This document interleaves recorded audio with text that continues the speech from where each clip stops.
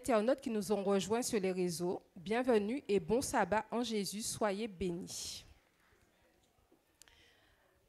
Alors, nouveau mois, nouveau fruit. Aujourd'hui, nous voyons quel fruit? Ah, vous avez triché, hein? Alors, rappelez-moi déjà ce que dit notre verset de base, sans regarder. La paix, c'est ça. Amen. Alors, revenons. Qu'est-ce que la bonté? La bonté, selon Google, c'est la qualité morale qui, qui porte à faire le bien, à être bon pour les autres. C'est l'amabilité, la gentillesse. Selon la Bible, la bonté est l'attitude bienveillante de Dieu qui accorde aux hommes ses faveurs et toutes sortes de bénédictions. Voici maintenant ce que nous dit la servante du Seigneur dans Message choisi, volume 1, le chapitre 51, uni au sept vivant. Si quelqu'un est en Christ, il est une nouvelle créature. Les choses anciennes sont passées. Voilà, voici, toutes choses sont devenues, nous dit 2 Corinthiens, c'est ça. Il n'y a que la puissance divine qui puisse régénérer le cœur humain et imprégner les âmes de l'amour du Christ pour ceux qu'il a voulu sauver par sa mort. Le fruit de l'esprit, c'est l'amour, la joie, la paix, la patience, la bonté, la foi, la douceur, la tempérance. Dès qu'un homme est converti à Dieu, il éprouve de nouveaux goûts. Au point de vue moral, il reçoit une nouvelle force. Il apprend à aimer ce que Dieu aime, car les chaînes d'or des immuables promesses rattachent sa vie à celle de Jésus. L'amour, la joie, la paix, une gratitude inexprimable envahit son âme. Les bénédictions dont il est, l'objet le font s'écrier Ta bonté me rend fort. Psaume 18, verset 36. Souvenez-vous de Moïse dans Exode 34, verset 6, qui nous parla ainsi de notre Dieu, et l'Éternel passa devant lui et s'écria L'Éternel, l'Éternel, Dieu miséricordieux et compatissant, lent à la colère, riche en bonté et en fidélité. À votre tour, je vous laisse le soin de présenter l'auteur de la bonté.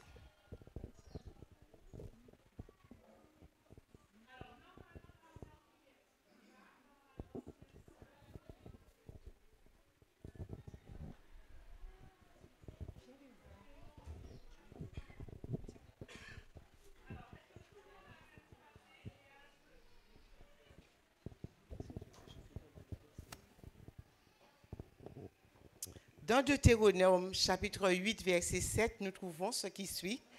Car l'Éternel, ton Dieu, va te faire entrer dans un bon pays, pays de cours d'eau, de sources et de lacs, qui jaillissent dans les vallées et dans les montagnes.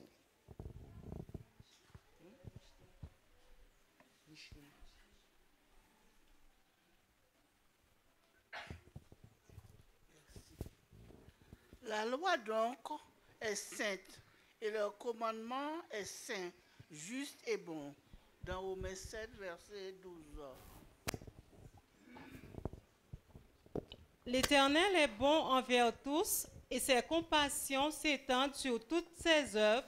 Psaume 145, verset 9. Oh, combien est grande ta bonté, que tu tiens en réserve pour ceux qui te craignent, que tu témoignes à ceux qui cherchent en toi leur refuge. Psaume 31, versets 19 et 20. Que celui qui est sage prenne garde à ces choses et qu'il soit attentif aux bontés de l'Éternel. Psaume 107, le verset 43. Lorsque tu mangeras et que tu te rassasieras, tu béniras l'Éternel ton Dieu pour le bon pays qu'il t'a donné. Deutéronome 8, 10. Signale ta bonté, toi qui sauves ceux qui cherchent un refuge et qui par ta droite les délivres de leurs adversaires. Psaume 17, verset 7. Que ta bonté soit ma consolation, comme tu l'as promis à ton serviteur. Psaume 119, verset 76. Aussi vous avez goûté que le Seigneur est bon. 1 Pierre chapitre 2 verset 3. Amen. Éternel, souviens-toi de ta compassion et de ta bonté, car elles sont éternelles. Somme 25, verset 6. Amen. L'Éternel a de la bonté pour qui espère en lui, pour l'âme qui le cherche. Lamentation 3, verset 25. Nous allons prendre un dernier verset. Car ta bonté vaut mieux que la vie, mes lèvres s'élèvent tes louanges. Psaume 63, verset 3. Amen. Merci à vous. Maintenant, nous allons écouter Joris nous parler de la bonté de notre Père.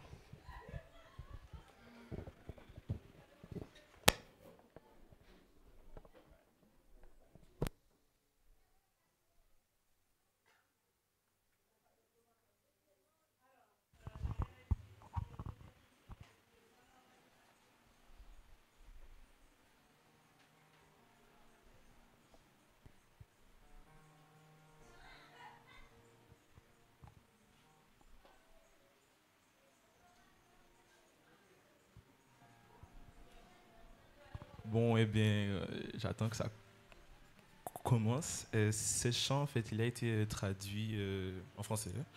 Mais c'est en fait un chant qui- parle de l'infime bonté de Jésus, car en fait, il nous a vraiment bénis en fait durant notre, vie. Je pense que vous pouvez tous le témoigner. J'espère de cela. Et le chant s'intitule La bonté de Dieu.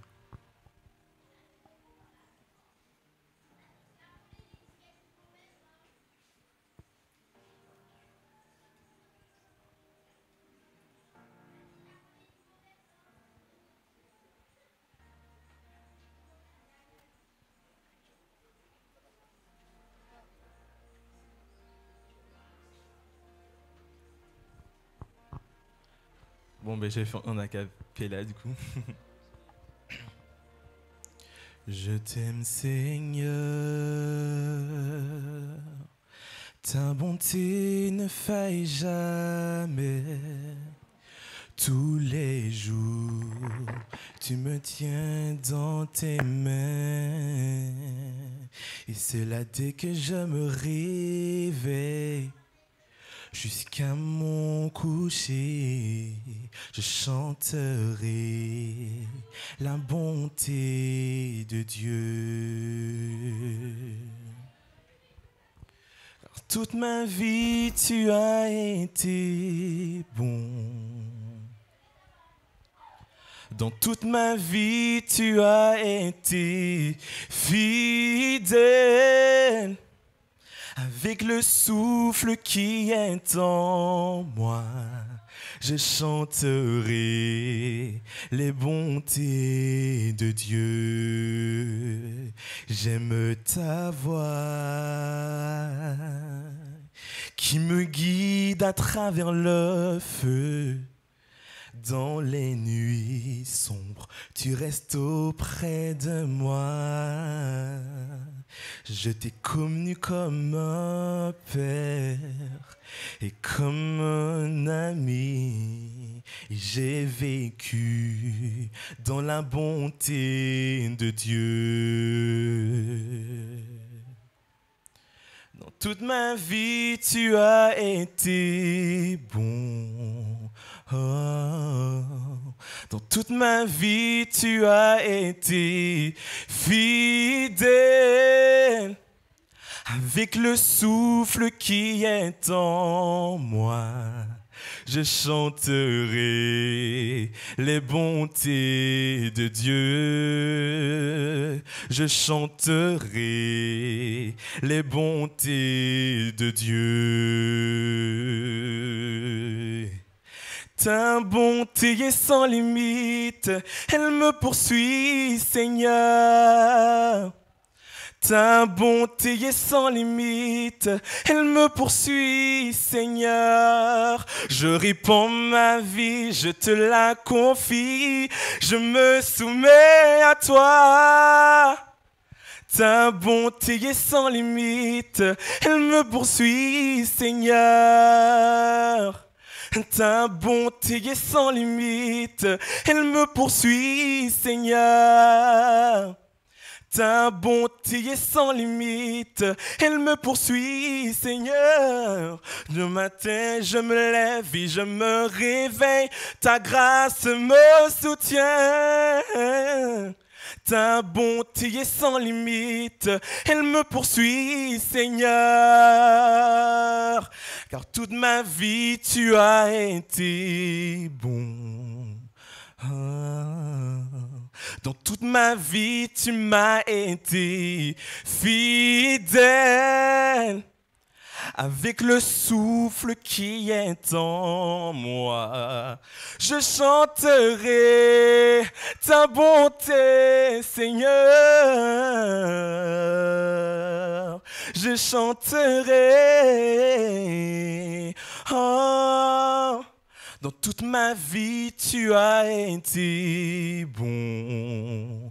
Ah, Dans toute ma vie, tu as été fidèle. Qu'avec la souffle qui est en moi, je chanterai tes bontés, Seigneur. Je chanterai tes bontés, Seigneur.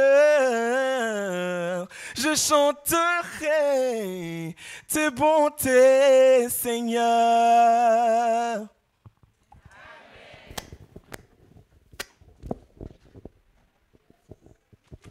Amen. Merci à Joris. Dieu est bonté. En donnant son Fils, il nous donna l'exemple car nous étions perdus, mais dans sa bonté et sa miséricorde, il nous racheta et il nous ramena en- à lui. En donnant sa vie pour nous, Jésus lui-même fit preuve de bonté. C'est un fruit de l'Esprit que Dieu veut retrouver en nous. De la même manière que notre Père dans le ciel a eu compassion pour nous, il ne nous a pas laissés dans les ténèbres et a voulu nous racheter. Il nous a aimés et nous a enlevés des griffes de Satan. Que ce fruit de l'Esprit se manifeste en nous et à notre tour aujourd'hui de faire preuve de bonté envers les autres en leur apportant cette bonne nouvelle. Amen. Maintenant, je laisse place à Mario avec le secours adventiste. Bonjour à tous. Ben oui, faisons preuve de bonté. Et bien sûr, le secours adventiste a besoin de votre bonté. Pourquoi, à votre avis? Leslie en a parlé la semaine dernière. Ce mois-ci commence le début de la, la collecte annuelle. Je, vois que vous êtes super contents. Est-ce que vous êtes prêts à collecter ce mois-ci pour les projets que le secours adventiste doit mettre en œuvre? Il n'y a pas beaucoup de réponses. Alors, je reprends la question. Est-ce que vous êtes prêts à collecter pour le secours adventiste? Voilà, c'est déjà un peu mieux. Donc, on va essayer de, de- de s'y mettre tous ensemble et bien sûr de rapporter une somme conséquente pour que les projets du secours adventiste puissent se mettre en place. Alors, ils ont deux projets à cœur. Le premier, c'est un pôle d'urgence humanitaire.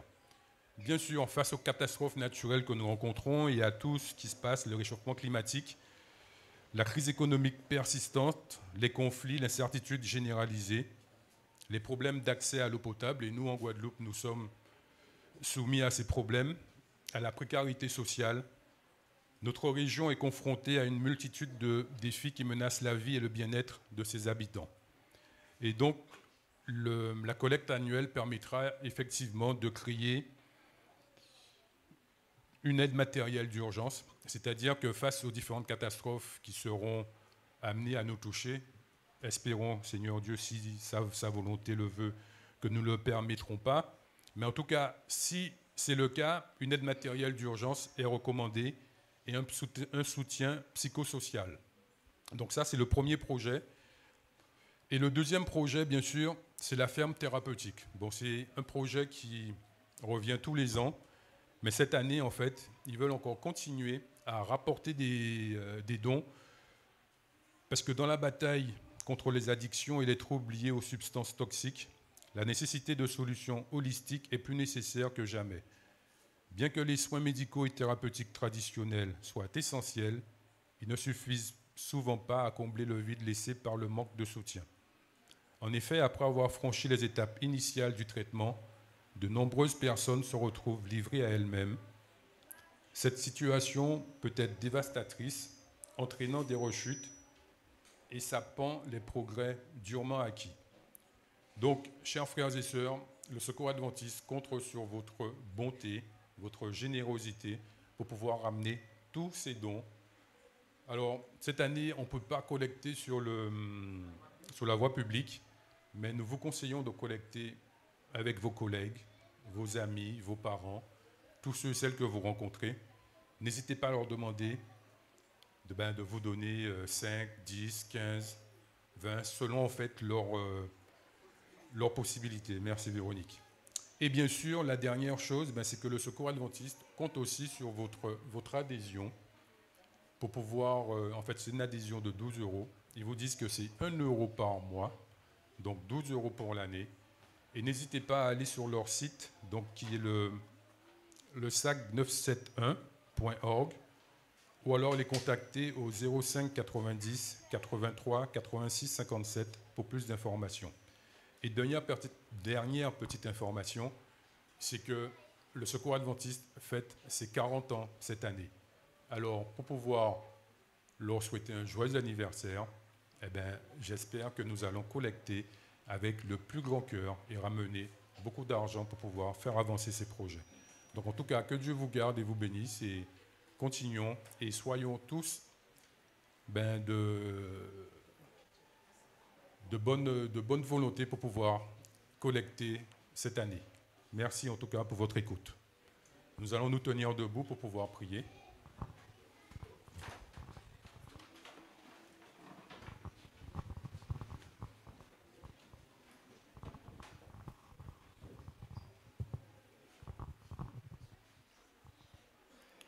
Tendre Père céleste, nous voulons te remercier pour cette matinée de sabbat, cette journée de sabbat que tu nous donnes et pour le fait que nous soyons ici dans ton Église, afin, Seigneur Dieu, que tu puisses nous faire grâce et miséricorde. Nous comptons sur toi, Seigneur Dieu, et tu nous demandes d'être bon, d'être généreux. C'est pour ça que, Père éternel, à travers la collecte annuelle qui aura lieu ce mois-ci, nous voulons, Seigneur Dieu, que tu puisses nous aider à faire de notre mieux pour pouvoir collecter ces fonds, pour pouvoir ramener au secours adventiste. Père éternel, beaucoup d'entre nous sont dans la difficulté, dans la précarité, mais nous savons que tu es la seule personne en qui nous pouvons mettre notre espoir. Tu es la seule personne, Seigneur Dieu, qui peut nous secourir malgré les difficultés. Seigneur Dieu Tout-Puissant, sois avec nous, conduis-nous, et que nous puissions t'offrir un culte qui te soit agréable. Accorde-nous ta paix et ta grâce, et que ton esprit nous accompagne. Nous t'avons prié au nom et pour l'amour de ton Fils Jésus et pour ta gloire. Amen. Bon sabbat.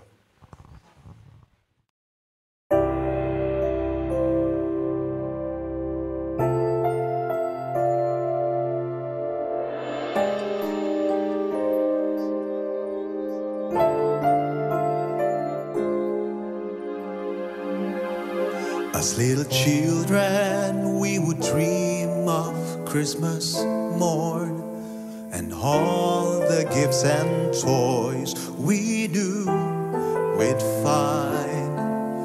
But we never realized a baby born one blessed night gave us the greatest gift of our lives, our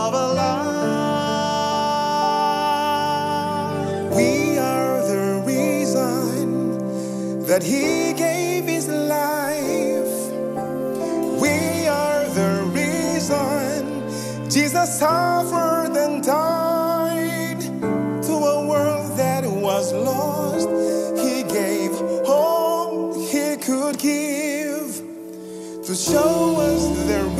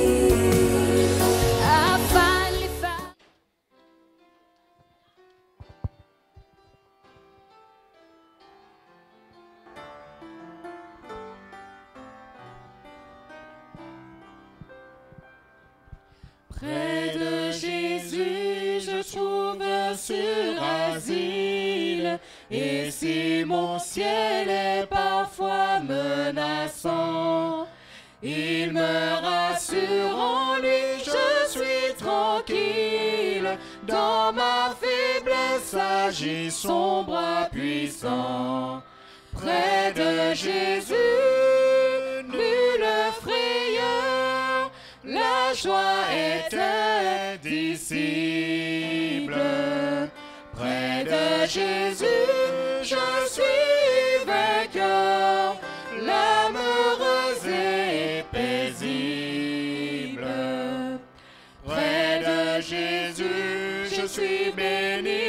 sans. Allègrement, je porte mes fardeaux. Un mot de lui dissipe ma tristesse et son amour me donne le repos. Près de Jésus, nulle frayeur, la joie est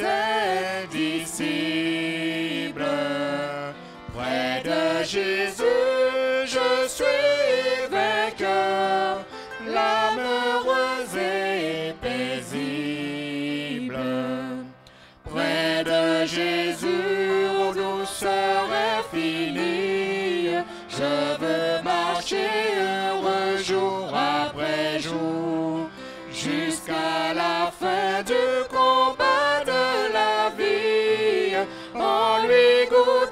un éternel amour. Près de Jésus, nulle frayeur, la joie est indicible. Près de Jésus, je suis vainqueur, l'âme heureuse et paisible. Ce monde dès que brille l'aurore, ce monde dès que le soleil luit, au numéro 208 de notre hymne louange.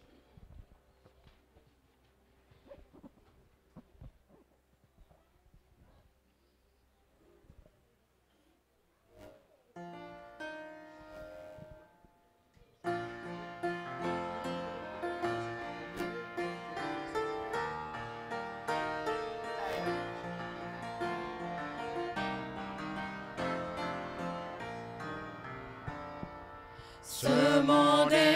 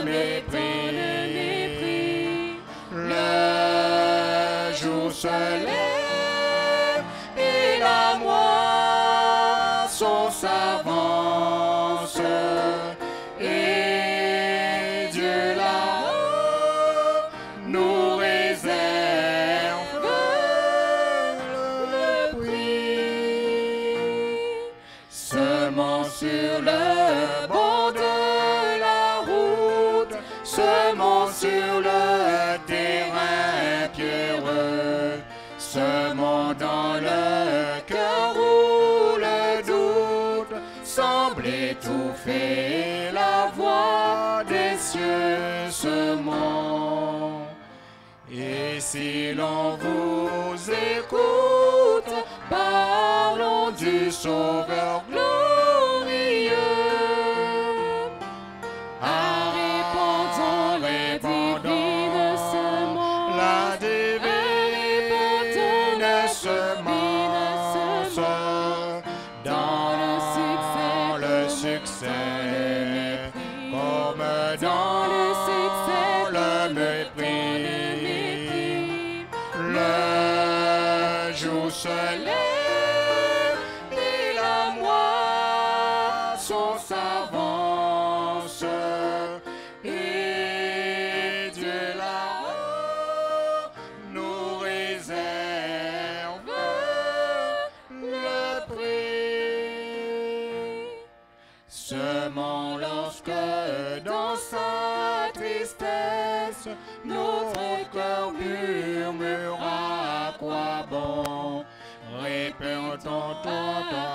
la promesse et l'évangile du pardon semant. Bientôt douce allégresse luira le jour de la moisson.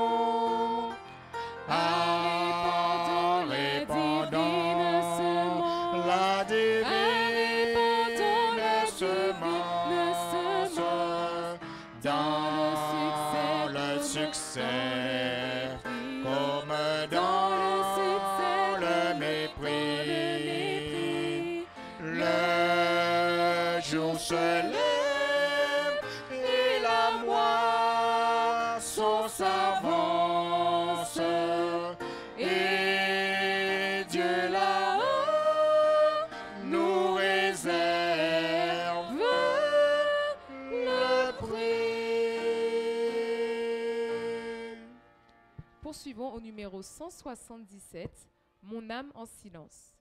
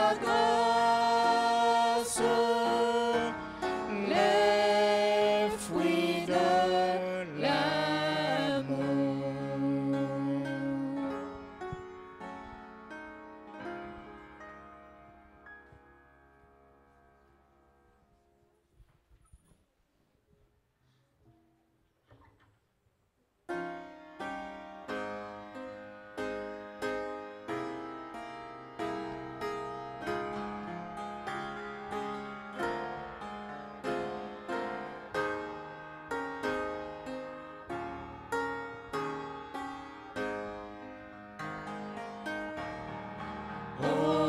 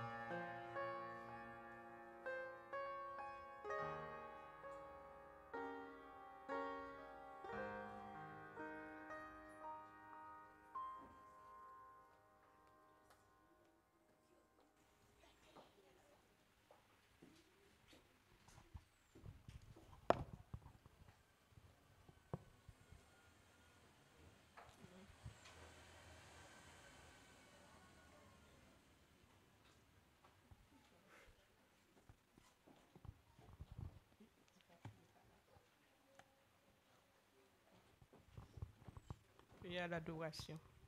Je t'exalterai, ô mon Dieu, mon roi. Je te bénirai de tout mon, de tout mon à toujours et à perpétuité.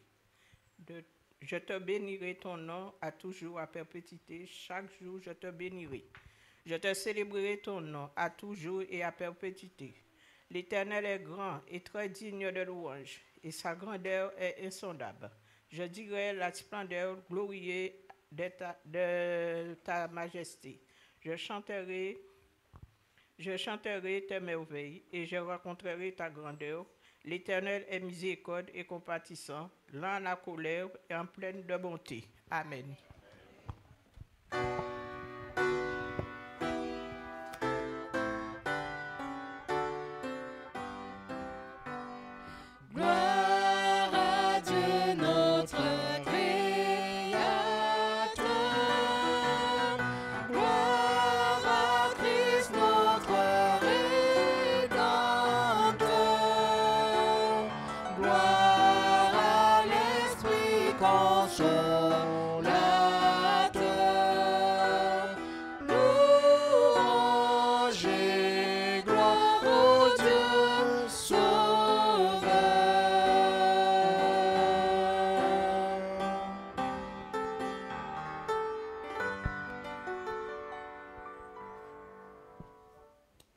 Notre Père et notre Dieu, reçois ce culte que nous t'offrons en ce matin. Seigneur, visite ton peuple selon ta promesse et viens bénir ton peuple toi-même, car tu es grand et Seigneur, tu es très digne de louange. C'est pourquoi nous aussi, nous voulons nous associer avec tes anges pour te rendre ce culte. Que ta main soit sur nous et que ton nom soit exalté dès maintenant et dans tous les siècles. Amen. Amen.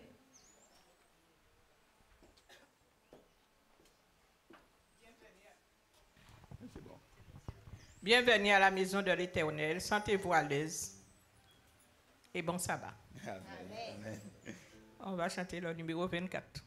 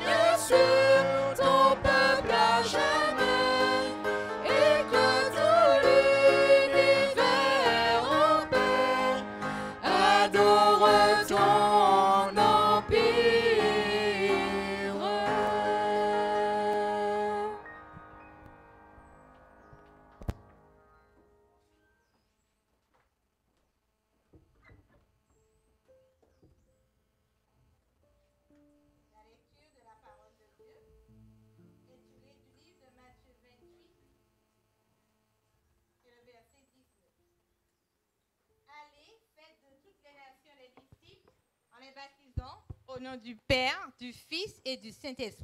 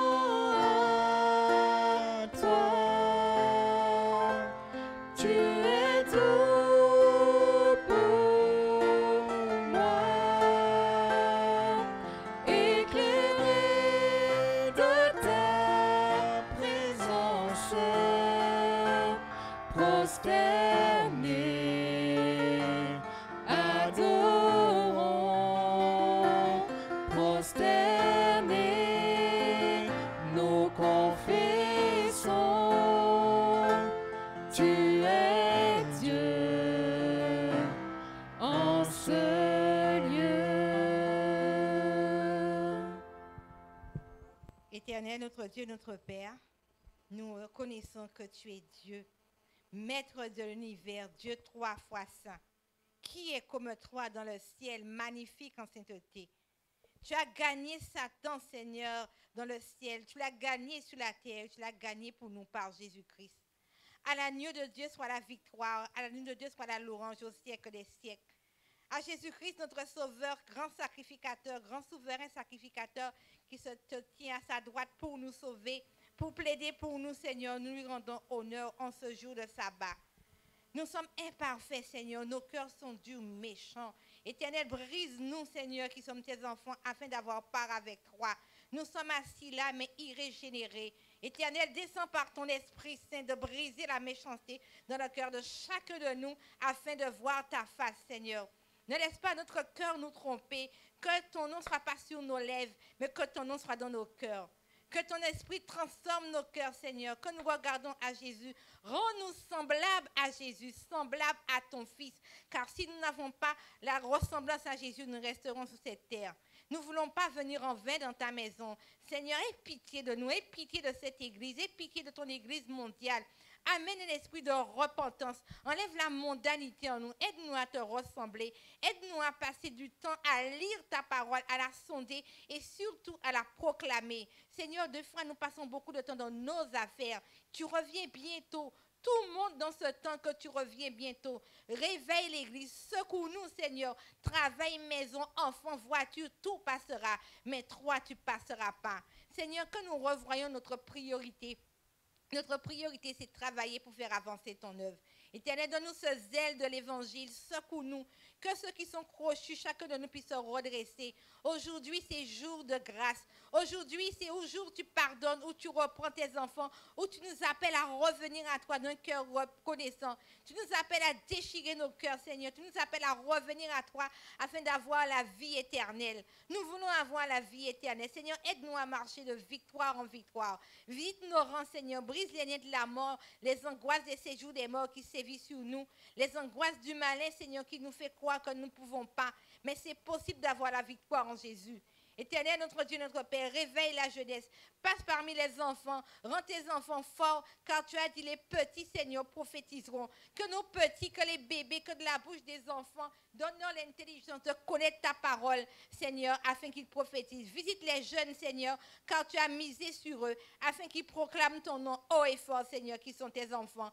Visite, Seigneur, les adultes. Visite aussi les cheveux blancs dans cette église, afin de voir que tu les as pas abandonnés dans leur vieillesse, mais que tu veux qu'ils soient des poteaux mitants dans l'église, des femmes et des hommes de prière qui restent jusqu'au bout. Quoique la maladie sévit, mais Seigneur, qui garde espoir que tu es leur rémunérateur et qu'ils verront ta face. Donne-leur du courage à ceux qui sont désespérés. Il y a des problèmes dans le travail, dans la famille. On sait où donner la tête. Mais toi, rien n'est impossible pour toi. Nous te présentons la bras ta prière, les sujets qui y sont. Réponds selon tes attentes, selon ce que tu veux. Déposons la Guadeloupe qui part en criminalité, Seigneur. Il y a le sang qui coule partout, il y a des accidents. Pacifie ce pays. Déposons le gouvernement dont nous dépendons de la France entre tes mains. Tu vois partout les personnes crient. Il y a des catastrophes de l'eau partout dans des départements en France. Les gens ont tout perdu. Ils ne savent où donner la tête. Mais Seigneur, Permets qu'on puisse les toucher pour dire que tu es l'espoir. Tout cela doit arriver, mais il y a de l'espoir en Jésus. Éternel, notre Dieu, notre Père, ce que nous te demandons, c'est ta présence, d'être réel avec toi, de vivre la vie que tu veux que nous tu veux pour nous, Seigneur, vivre la vie de Jésus, d'un disciple de Jésus, être rempli du Saint-Esprit. Remplis Charlie du Saint-Esprit afin de délivrer ce message, Seigneur. Nous déposons la dîme et les offrandes entre tes mains. La- L'inflation est là, Mais aide-nous à ne pas garder, Seigneur, la part, ta part et la portée, Seigneur. Bénis-nous, bénis toutes les familles, bénis, Seigneur, toutes nos entreprises. Multiplie pour nous selon ta volonté, car tu n'oublies aucun de tes enfants. Fais des miracles aujourd'hui parmi nous, pour quelqu'un qui souffre, pour quelqu'un qui a besoin de toi. Délie ce qui est lié, Seigneur, dans cette salle. Délie aussi la campagne d'évangélisation. Permets que les âmes viennent écouter ta parole. Bénis le prédicateur, il a besoin de toi. Éternel, en ce jour de sabbat, jour de délivrance, délivre tes enfants. Mais ce que nous voulons, c'est que tu nous délivres du mensonge, de l'hypocrisie. Seigneur, que tu nous donnes un cœur vrai et que nous soyons à ta ressemblance. Aide-nous à vivre dans un seul lien d'amour avec toi, en Jésus et pour ta gloire. Amen.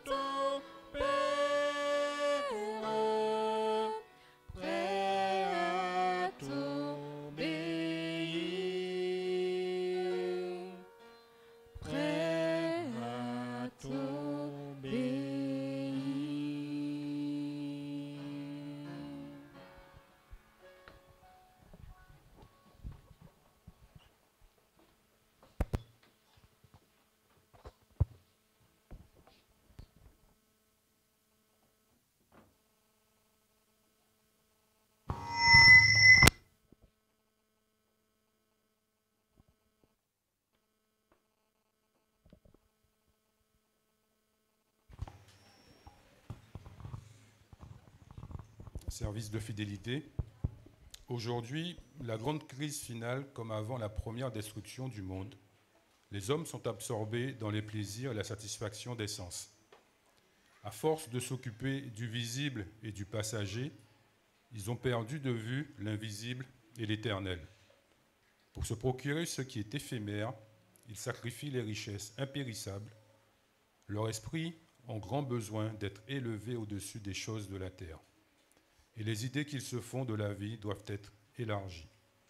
Il faut qu'ils soient réveillés de la torpeur des rêves de ce siècle. Cette citation est tirée d'Éducation, page 185. Et les diacres vont passer dans les rangs pour recueillir les dîmes et les offrandes.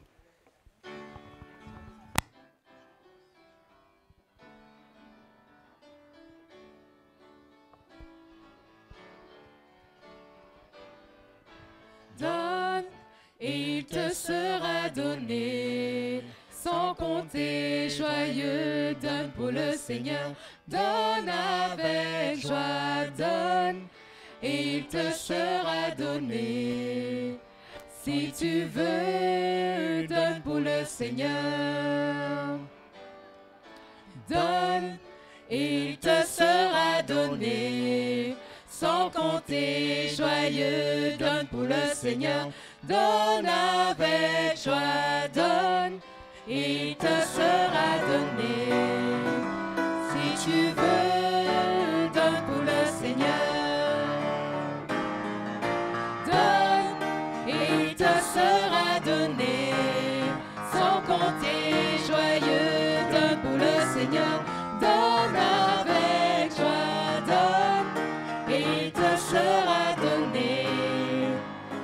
Tu veux, donne pour le Seigneur.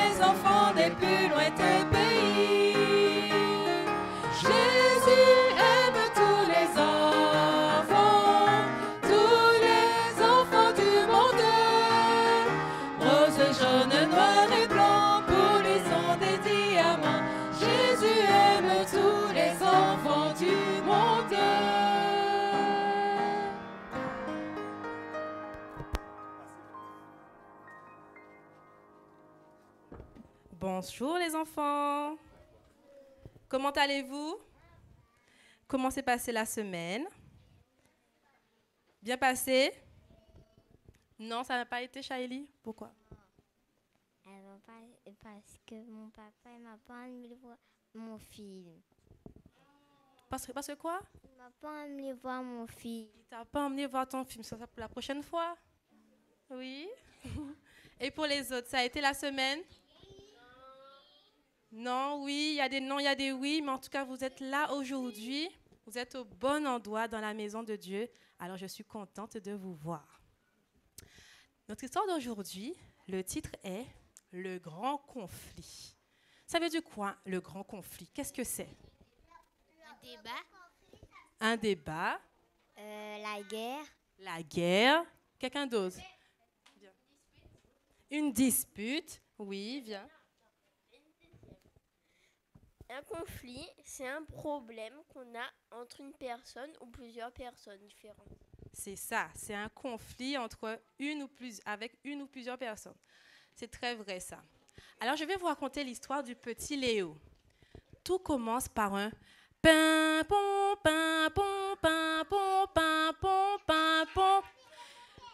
Un camion de pompiers traverse la ville à toute vitesse. Au même moment, Léo et ses camarades se sont levés pour regarder par la fenêtre qu'est-ce qui se passe. Pom, pin, pom. Les pompiers passent. Léo sait que son papa est pompier. Alors il aime beaucoup voir ces hommes parce qu'ils ils sont là pour sauver des vies, mais il redoute aussi parce qu'ils savent que le feu, ça brûle et ça peut détruire beaucoup de choses sur son passage. Alors, lorsque, lorsque Léo, ça fait brûler les mains, c'est vrai, lorsque Léo est rentré chez lui, il a dit, papa, je t'ai vu, j'ai vu que tu es passé à toute vitesse. Et le papa a dit, oui, c'est vrai, nous étions en intervention parce qu'il y avait de la, du feu dans la forêt. Alors le papa raconte l'histoire, ce qu'ils ont fait. Il explique comment le feu était immense, était grand. Et il, il continue son histoire. Donc Léo et sa sœur. Uh-huh. Et Léo et sa sœur, ils écoutent attentivement ce que papa raconte. Et puis après, le papa dit qu'à un moment, son collègue lui dit Hé Hé Hé Venez voir, venez voir D'après vous, qu'est-ce qui se passe? Quelqu'un est mort. Quelqu'un est mort Quelqu'un s'est fait brûler Euh, les pompiers, ils ont éteint le feu. Les pompiers éteint le feu. Il dit Hé, hé, hé, venez voir, venez voir. Alors tout le monde accourt parce qu'ils ont l'impression, ils pensent qu'il y a un autre feu qui va, qui va démarrer là-bas. Alors, ils y vont et qu'est-ce qu'ils voient? Sous un tas de bois brûlés, sous un tas de bois brûlés, il se cachait, écoutez bien, une poule, une poule. Et quand ils ont soulevé les bois, ils ont vu la poule et la poule a ouvert ses ailes et sous ses ailes, il y avait six petits poussins. Six petits poussins. Quel miracle Tout le monde dit, oh là là là là, comment est-ce que la poule a fait pour survivre alors qu'il y avait des flammes, il y avait du feu? Donc quand elle, quand elle ouvre les ailes, les petits poussins, bien sûr, ils partent. Mais au même moment, dans le ciel, qu'est-ce qu'il y avait? Un oiseau méchant qu'on appelle le malfini.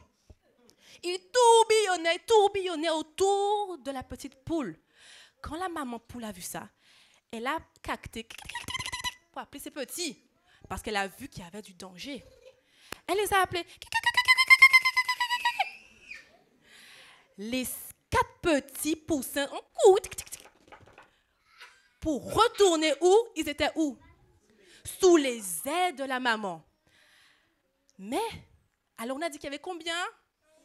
Six. Combien sont rentrés sous, les ailes? Quatre. Alors, du coup, combien il en manque Si vous êtes fort en maths? Cinq, Naïlis. Il en manque deux. Alors, elle continue à cacter. Yo, pas comprendre rien. Ils restent là-bas. Ils font leur vie, mandez eux-mêmes. La maman continue parce qu'elle voit le, le, le mal fini qui tourne autour et ils sont partis. Au contraire, ils sont partis comme pour dire qu'on va faire nos affaires, on s'occupe de maman. Eh bien, devinez quoi? Au même moment, le mal fini les a vus. Il a chargé, fou il, est, il a attrapé les deux petits poussins. La maman était tellement triste, son cœur est déchiré, ses petits sont morts. Et quand le papa raconte l'histoire, les enfants sont attentifs, ils écoutent l'histoire que papa raconte. Et la maman dit, mais ça me rappelle une histoire de la Bible. Alors Léo dit, ah bon maman, quelle histoire? Sa sœur dit, mais oui, c'est vraiment, quelle histoire? Et la maman dit, ça me rappelle une histoire biblique. Est-ce que vous saviez qu'il y a eu une guerre dans le ciel ah, mais Elliot, t'es trop rapide. C'est Satan et Jésus. Et comment ça s'est passé? Satan a, a trompé les gens, les anges et, et Satan est parti avec des anges. Ah, mais c'est ça. Dans le ciel, tout était beau, tout était joie, tout était paix. Il y avait de beaux paysages, tout était parfait. Et là, un ange nommé Lucifer, qui signifie ange de, ange de lumière, commençait à dire, regardez comment je suis beau, regardez comment je suis intelligent, comment je suis doué, je suis l'ange de lumière. Et après, au fur et à mesure, l'orgueil, la jalousie, l'égoïsme ont commencé à entrer où Dans son cœur. Dans son cœur. Il a commencé à, à dire, mais moi aussi je veux assister aux réunions. Oh oh, pourquoi c'est que Jésus Moi aussi je veux y aller. On lui a dit, non, reste à ta place. Hum, hum, à. Il a commencé à parler aux autres anges. Et un tel, tu sais, et tu sais, Maïlik, tu sais, alors les anges écoutent. Et malheureusement, certains ont cru à ce qu'il a dit. Ils ont dit, ah, mais c'est vrai, ah, oh. ah oui, au point que un tiers des anges se sont laissés séduire par Satan. À ce moment-là, est-ce que Satan, est-ce que Lucifer pouvait rester dans le ciel? Pourquoi non? Il était méchant. Parce qu'il était méchant et on- Et, et c'est les, les anges que Satan a séduits, ce sont les mauvais esprits. il ne peut pas rester un endroit où il y a le bonheur, où il y a la joie, où il y a la paix, où tout est beau et parfait. Alors, il y a eu un combat entre les anges de Dieu, Jésus et son armée, et Lucifer qui a changé de nom parce que maintenant il n'était plus ange de lumière, mais il était comment? Ange de Satan le diable. Satan le diable. Satan qui signifie adversaire, ennemi. Il était donc devenu ennemi de qui? Dieu. Ennemi de Dieu. Alors il y a eu un combat, il y a eu un combat, il y a eu un combat. Mais heureusement, Dieu demeure toujours le plus fort, le plus fort, le plus victorieux, le plus victorieux. Jésus a gagné la bataille. Que disons-nous? Amen. Amen. Et donc, du coup, il fut chassé du ciel parce qu'ils n'avaient plus leur place dans ce beau paradis. Et vous savez, Jésus, il est comme cette maman poule. Qu'est-ce qu'il veut faire? Nous mettre sous. Il veut nous protéger, nous mettre en sécurité. Il veut nous mettre en sécurité. Et lui, Satan, est-ce qu'il nous aime à présent? Il nous déteste. Il nous déteste. Il ne nous aime pas. Alors, il fait toutes sortes de choses pour que nous soyons, comment? Tristes, quoi d'autre? Malheureux. Malheureux et bien d'autres encore. Malheureusement. Malheureusement. Oui, malheureusement. Malheureusement. Toutes sortes de choses pour nous mettre mal et nous éloigner de Dieu. Mais heureusement, Jésus est venu. Amen. Amen, amen. Et Jésus, comme je l'ai dit, c'est ce qu'il veut faire. Être ce protecteur et nous mettre en sécurité. Et souvenons-nous que Jésus demeure toujours plus que vainqueur. Alors, quelles que soient vos difficultés, à qui devez-vous, vers qui vous devez vous tourner? Dieu. Vers Dieu. Parce qu'il gagnera toujours vos batailles. Il gagnera toujours vos combats. Parce qu'il est plus que vainqueur. Le combat de Dieu. Oui. Alors maintenant, je vous invite à vous lever et nous allons faire cette prière à Dieu. On va se lever. On se tient debout et vous allez répéter après moi. Seigneur mon Dieu, Seigneur mon Dieu, je te remercie je te remercie de nous mettre en sécurité avec toi. de mettre en sécurité avec toi. Aide-nous à écouter Aide-nous à écouter et à lire tes enseignements Et à lire tes enseignements. afin de remporter les victoires comme toi. comme, de- comme toi. Comme toi. Afin de remporter les victoires comme toi. Au nom de Jésus. Au nom de Jésus. Amen. Amen. Belle semaine. Bon sabbat surtout et que Dieu vous bénisse à sabbat prochain.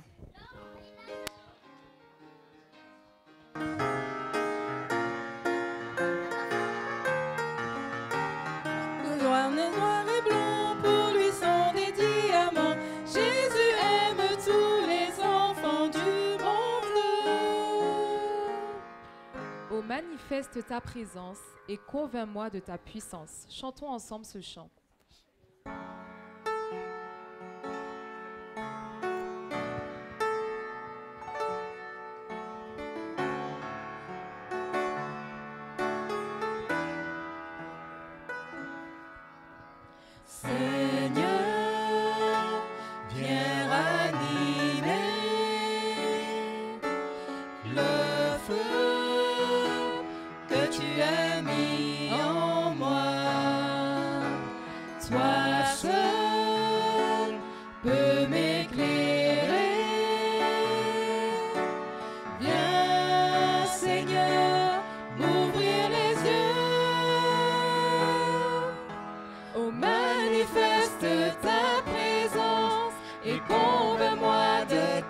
Puissance.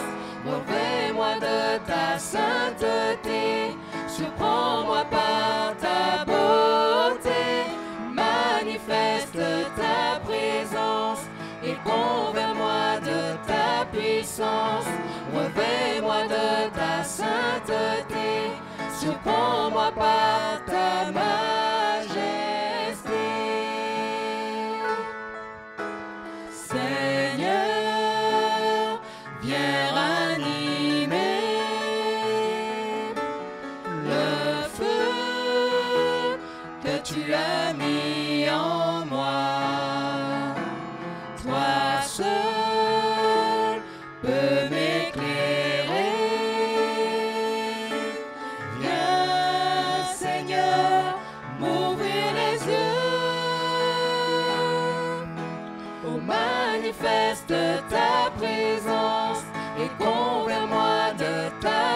puissance. Revêt-moi de ta sainteté. surprends-moi par ta beauté. Manifeste ta présence et convainc-moi de ta puissance. Revêt-moi de ta sainteté. Surprends-moi par ta majesté.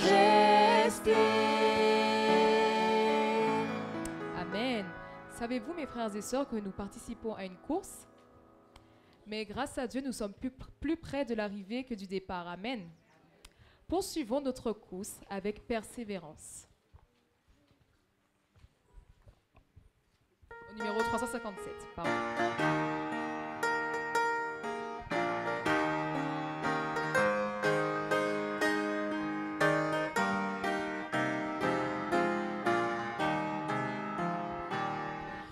Suivons notre course avec paix.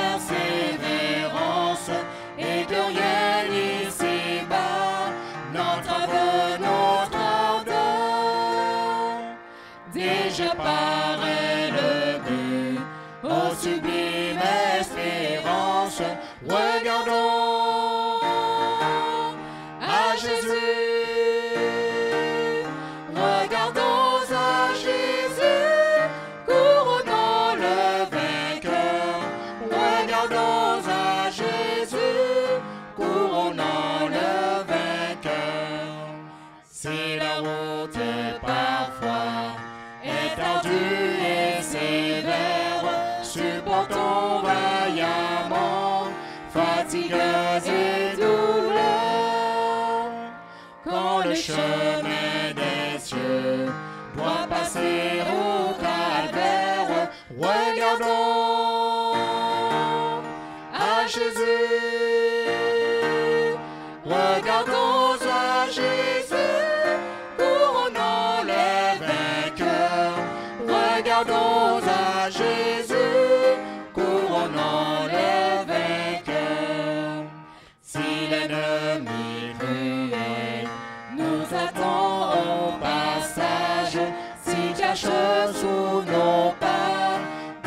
piège destructeur.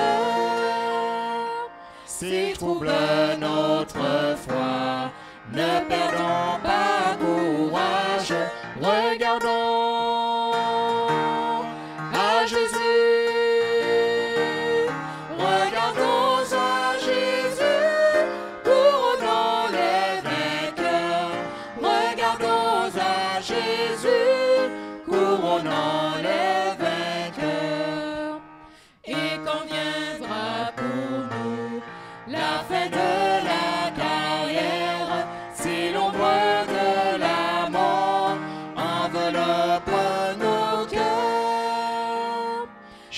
marchons encore.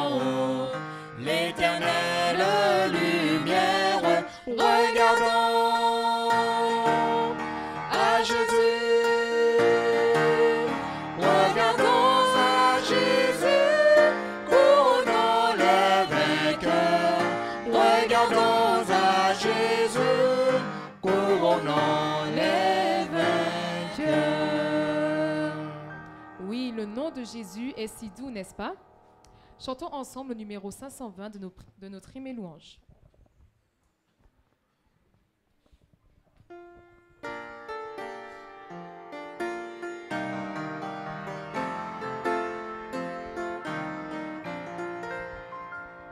Le nom de Jésus est si doux.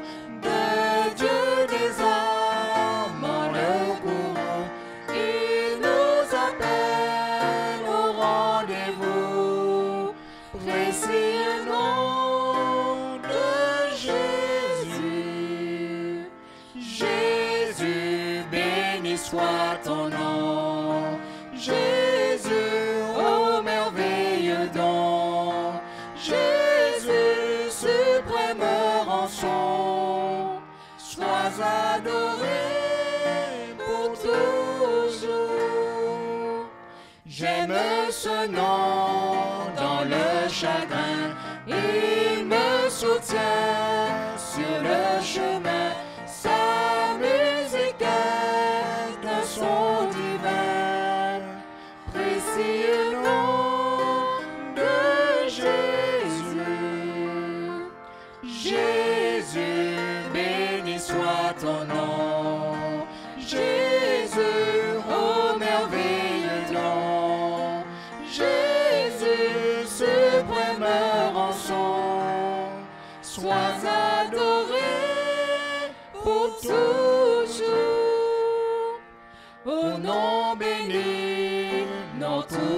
Quant à mon Père, m'adressant, il répondra mon cri puissant.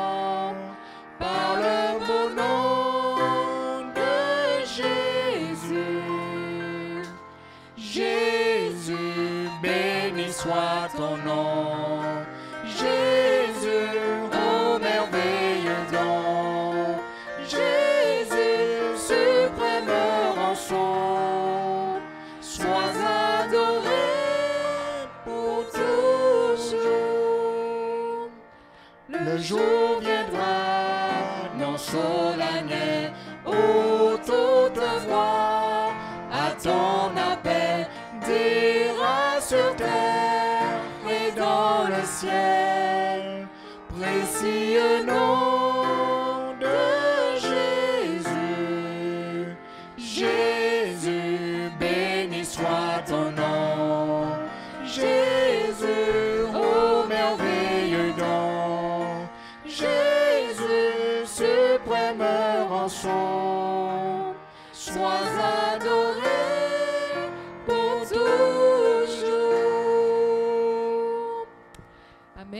J'ai l'assurance de mon salut par la présence du Seigneur Jésus. Chantons ce chant.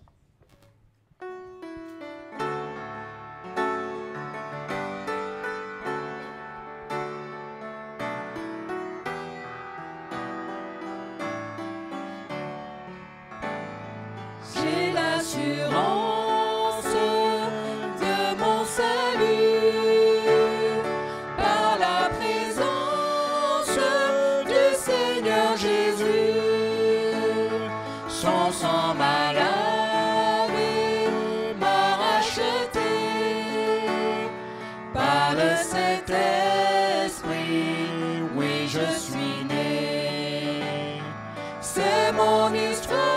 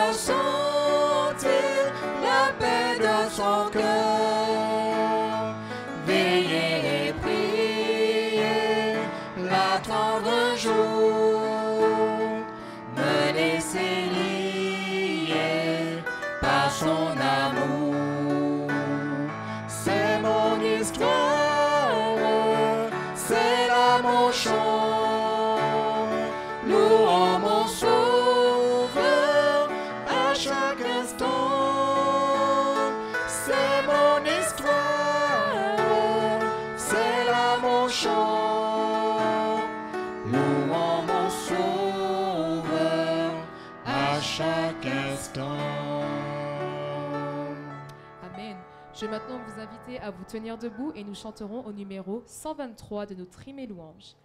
Descends, Esprit, du Dieu vivant.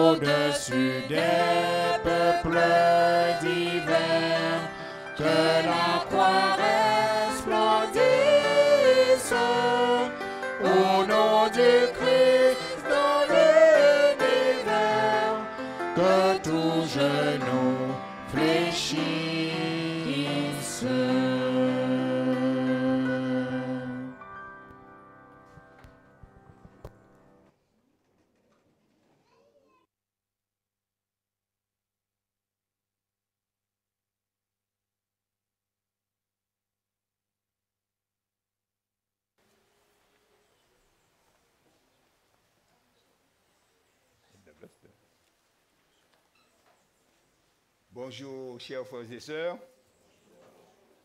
Je sais qu'il fait très chaud aujourd'hui, mais avec la grâce de Dieu, ça devrait aller. Alors, notre sujet de ce matin, le titre est tout simple. Aller. On peut aller de l'avant, on peut aller loin, on peut aller tout près, mais la chose c'est qu'il faut aller.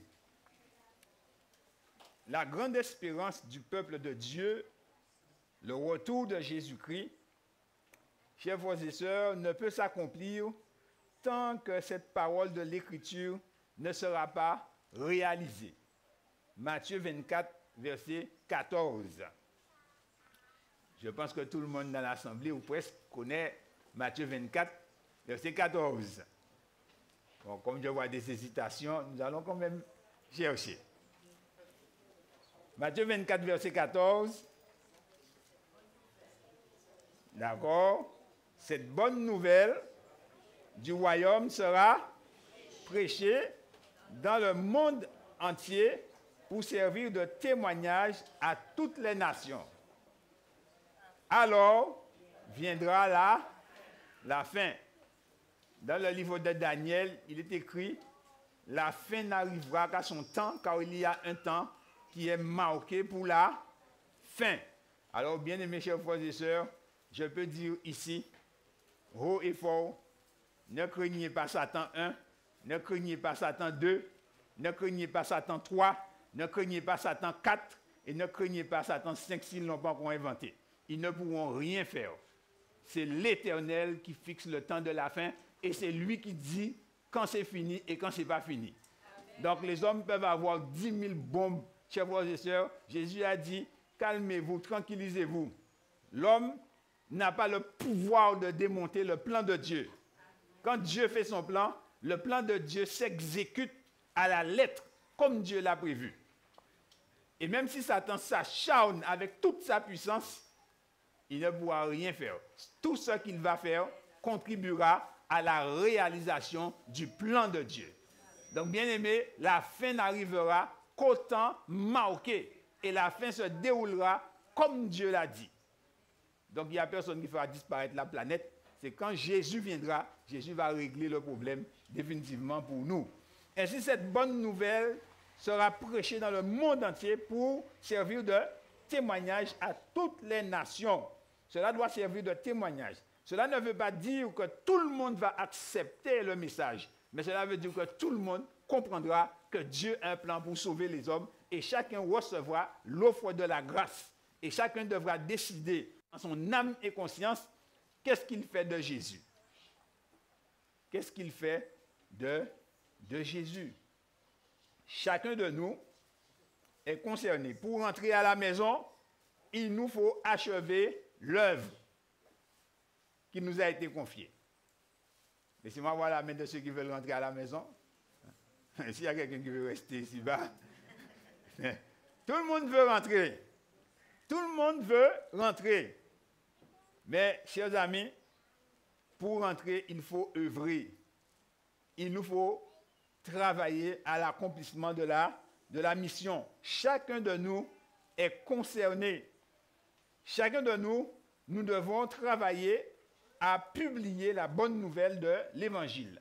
L'ordre d'aller est donné à tous, sans exception. Matthieu chapitre 28, le verset 19. Matthieu 28 et le verset 19.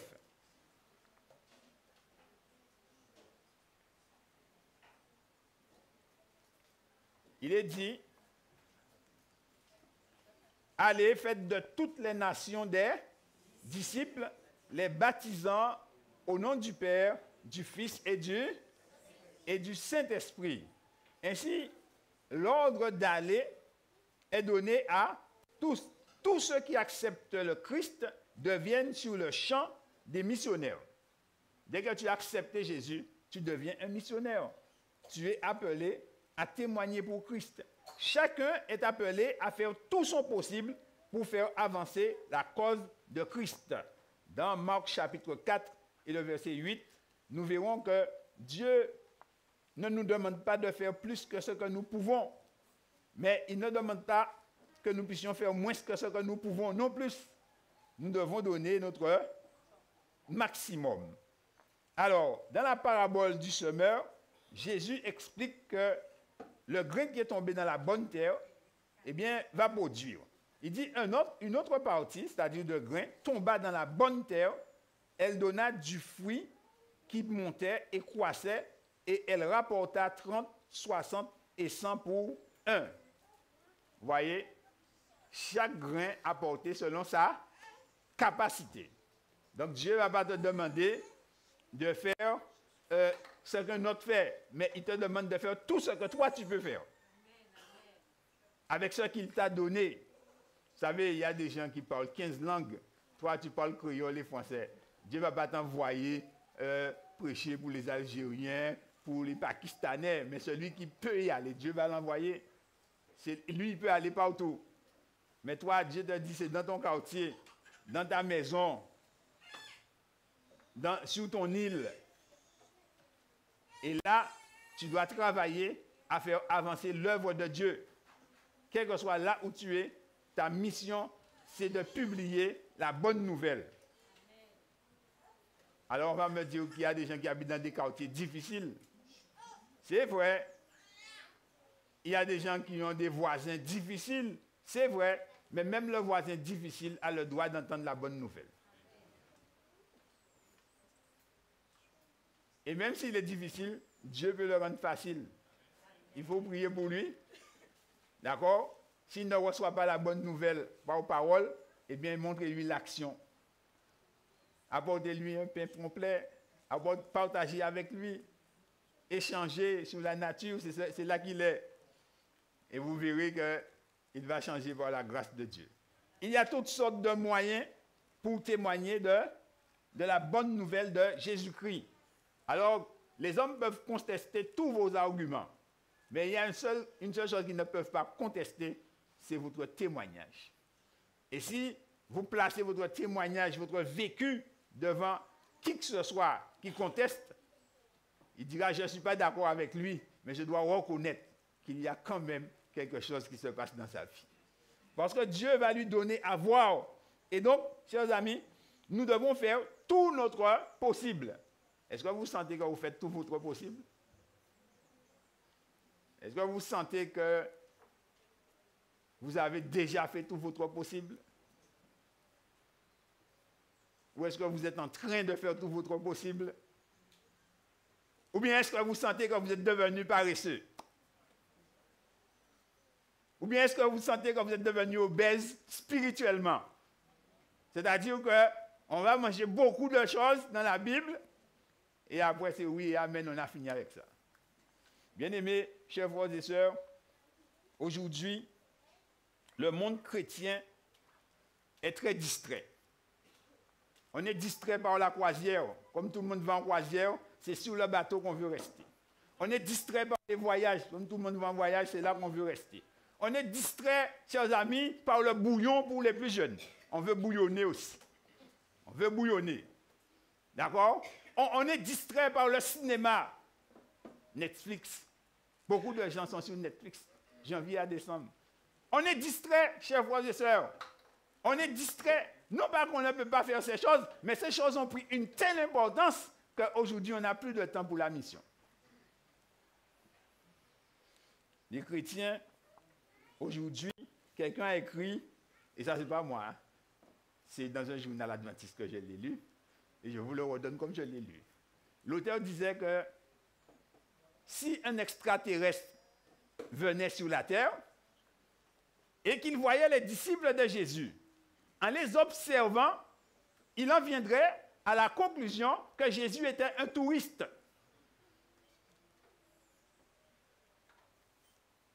Ne me demandez pas pourquoi il dit ça.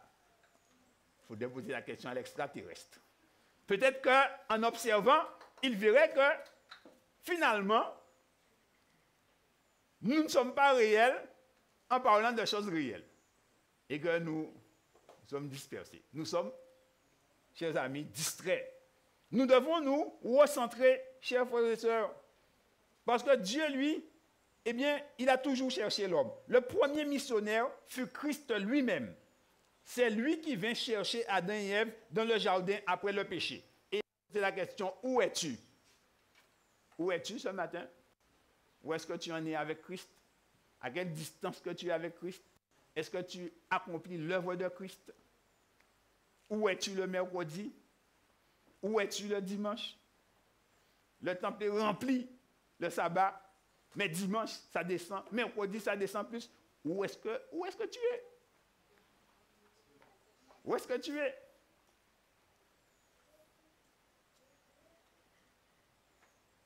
Je n'ose pas dire quelque chose, je pense que tu fais du travail missionnaire, puisque je suppose, bien aimés chers frères et sœurs. Mais réfléchissons, quelle est donc notre priorité?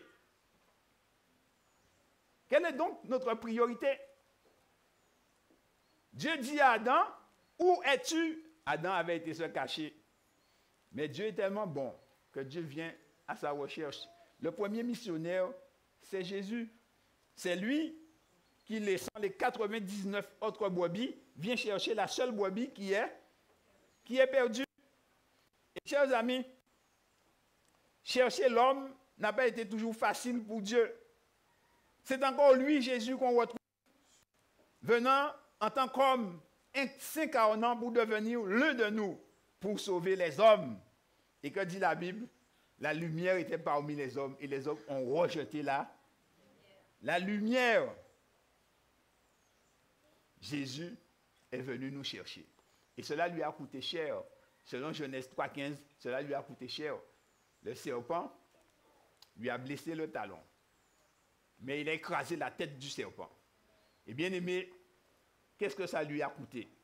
Pour que nous puissions être assis là, pour que nous puissions, chers frères et sœurs, nous réclamer du nom de Dieu. Jésus, il a dû aller chez Pilate. Il a dû suer les goulements de sang. Il a dû remonter la Via Dolorosa. Et pendant qu'il remonte la Via, la via Dolorosa, chers frères et sœurs, c'était terrible. Les gens qui l'injuriaient, les gens qui lui crachent dessus, celui-là qui lui arrache la barbe, il entend toutes sortes de choses. Et il doit supporter ça, lui qui est innocent. Lui, l'innocent, il le supporte. Lui, qui a la toute-puissance et qui, deux mots, pourrait sortir de cela, il ne le fait pas. Il reste dedans à cause de la volonté de Dieu, à cause de la volonté du Père. Il a accepté par amour pour nous. Et ça, c'est extraordinaire, chers frères et sœurs, de penser que, que Christ puisse aller aussi loin, que quelqu'un puisse vous aimer à ce point-là, se renier lui-même pour que vous puissiez vivre, pour que nous puissions vivre. Parce que, chers frères et sœurs, ce n'est pas facile lorsqu'on vous injurie, lorsqu'on vous crache dessus, et vous savez que vous n'avez rien fait de mal. Et vous avez fait que du bien à ces gens. Mais aujourd'hui, ils ne veulent plus vous voir. Aujourd'hui, ils vous crachent dessus. Aujourd'hui, ils, ils vilipendent votre nom. Et Christ le prend par amour pour nous. Christ le prend. Et chaque coup de frais, chers amis, à chaque coup de frais, il répond par son amour ineffable. Il n'a aucune idée de se venger. Alors que nous, nous disons, tant bien fait, en cas attendre le moment favorable. Mais lui, jamais cela ne lui a traversé l'esprit. Parce qu'il avait une seule chose un seul objectif, c'était d'accomplir la mission et de sauver les perdus. Et quand il va sur la croix, il dit tout est accompli. Tout est accompli. Voilà le prix de notre salut. Voilà pourquoi nous devons publier la bonne nouvelle de l'amour rédempteur de Dieu manifesté en Jésus-Christ. Et voilà pourquoi, chers amis, que Satan ne peut rien contre ça. Parce qu'à la croix du calvaire, il a été démontré que Dieu nous aime tellement qu'il est capable de, de s'anéantir lui-même pour que nous puissions vivre, nous les coupables. Et c'est pourquoi, lorsque nous venons à Jésus-Christ, chers amis, il nous demande de l'accepter, corps, âme et, esprit, et de lui soumettre tout notre être. Et à partir du moment que nous avons accepté que nous sommes descendus dans les eaux du baptême, nous ne nous appartenons plus. Nous n'avons plus de programme, chers frères et sœurs. Notre programme, c'est Christ qui le fait. Nous n'avons plus de programme. Notre volonté est soumise à la volonté de Christ. Et chers frères et sœurs, ça, c'est le nœud qui blesse. C'est le nœud qui blesse. Parce que beaucoup de personnes, en réalité, continuent à faire leur propre volonté. On décide. On décide. Et on se dit que Dieu est d'accord avec tout ce qu'on fait. Mais Christ, lui, il a renoncé à tout. Il a renoncé à tout pour nous sauver. Alors quand nous venons à Jésus, nous devons renoncer à tout. Mais tout, c'est tout. Hein? Il n'y a pas un petit truc à, côté, c'est tout. De sorte que Christ devient ton programme, ta raison de vivre. Et la mission de Christ, eh bien, c'est de faire ta mission maintenant, ton pain maintenant, c'est de faire la volonté de, Dieu. Parce que Christ a dit, ma nourriture est de faire la volonté de mon Père. Maintenant, ta nourriture, c'est de faire la volonté de Dieu. Et quelle est cette volonté? Aller, aller par toutes les nations et prêcher la bonne, la bonne nouvelle. Peut-être me direz-vous, à ce niveau, mais si je fais que ça, mais qu'est-ce que je vais faire? Avec la femme, avec les enfants, avec le mari Mais Christ sait que tu es marié. Ne vous inquiétez pas. Il dit, toutes ces choses, Dieu sait que vous en avez besoin. Psaume 127. Il en donne autant à ses bien-aimés pendant qu'ils dorment.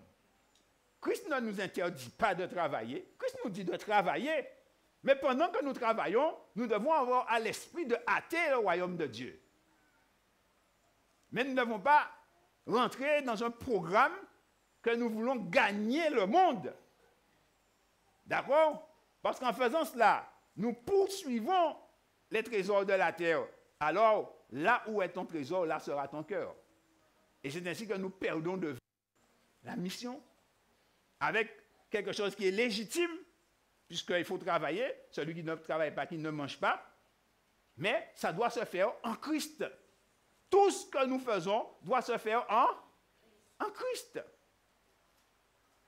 Et bien aimé, arriver à une certaine dimension avec Christ, tous nos déplacements vont se faire selon Christ.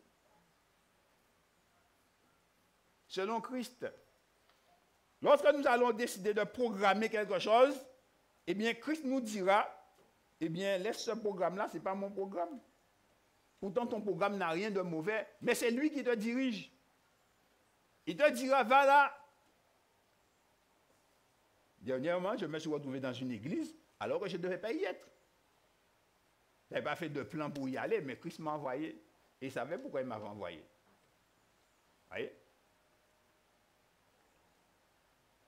Dimanche dernier, j'étais chez moi en train de prier et le Seigneur m'a donné le texte d'Ésaïe chapitre 6, où Ésaïe est dans le temple et il voit le Seigneur.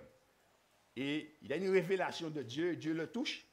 Et Dieu lui dit, ceci a touché tes lèvres, tu es pur maintenant. Et alors, le Seigneur dit, mais qui enverrai-je pour nous? Qui marchera pour nous? Alors, j'ai fait une petite prière. Je n'ose pas me comparer au prophète, Et je dis, Seigneur, mais si tu veux de moi, je veux bien aller. Mais je te dis ça en toute humilité. Et je suis parti. Je suis venu en réunion ici.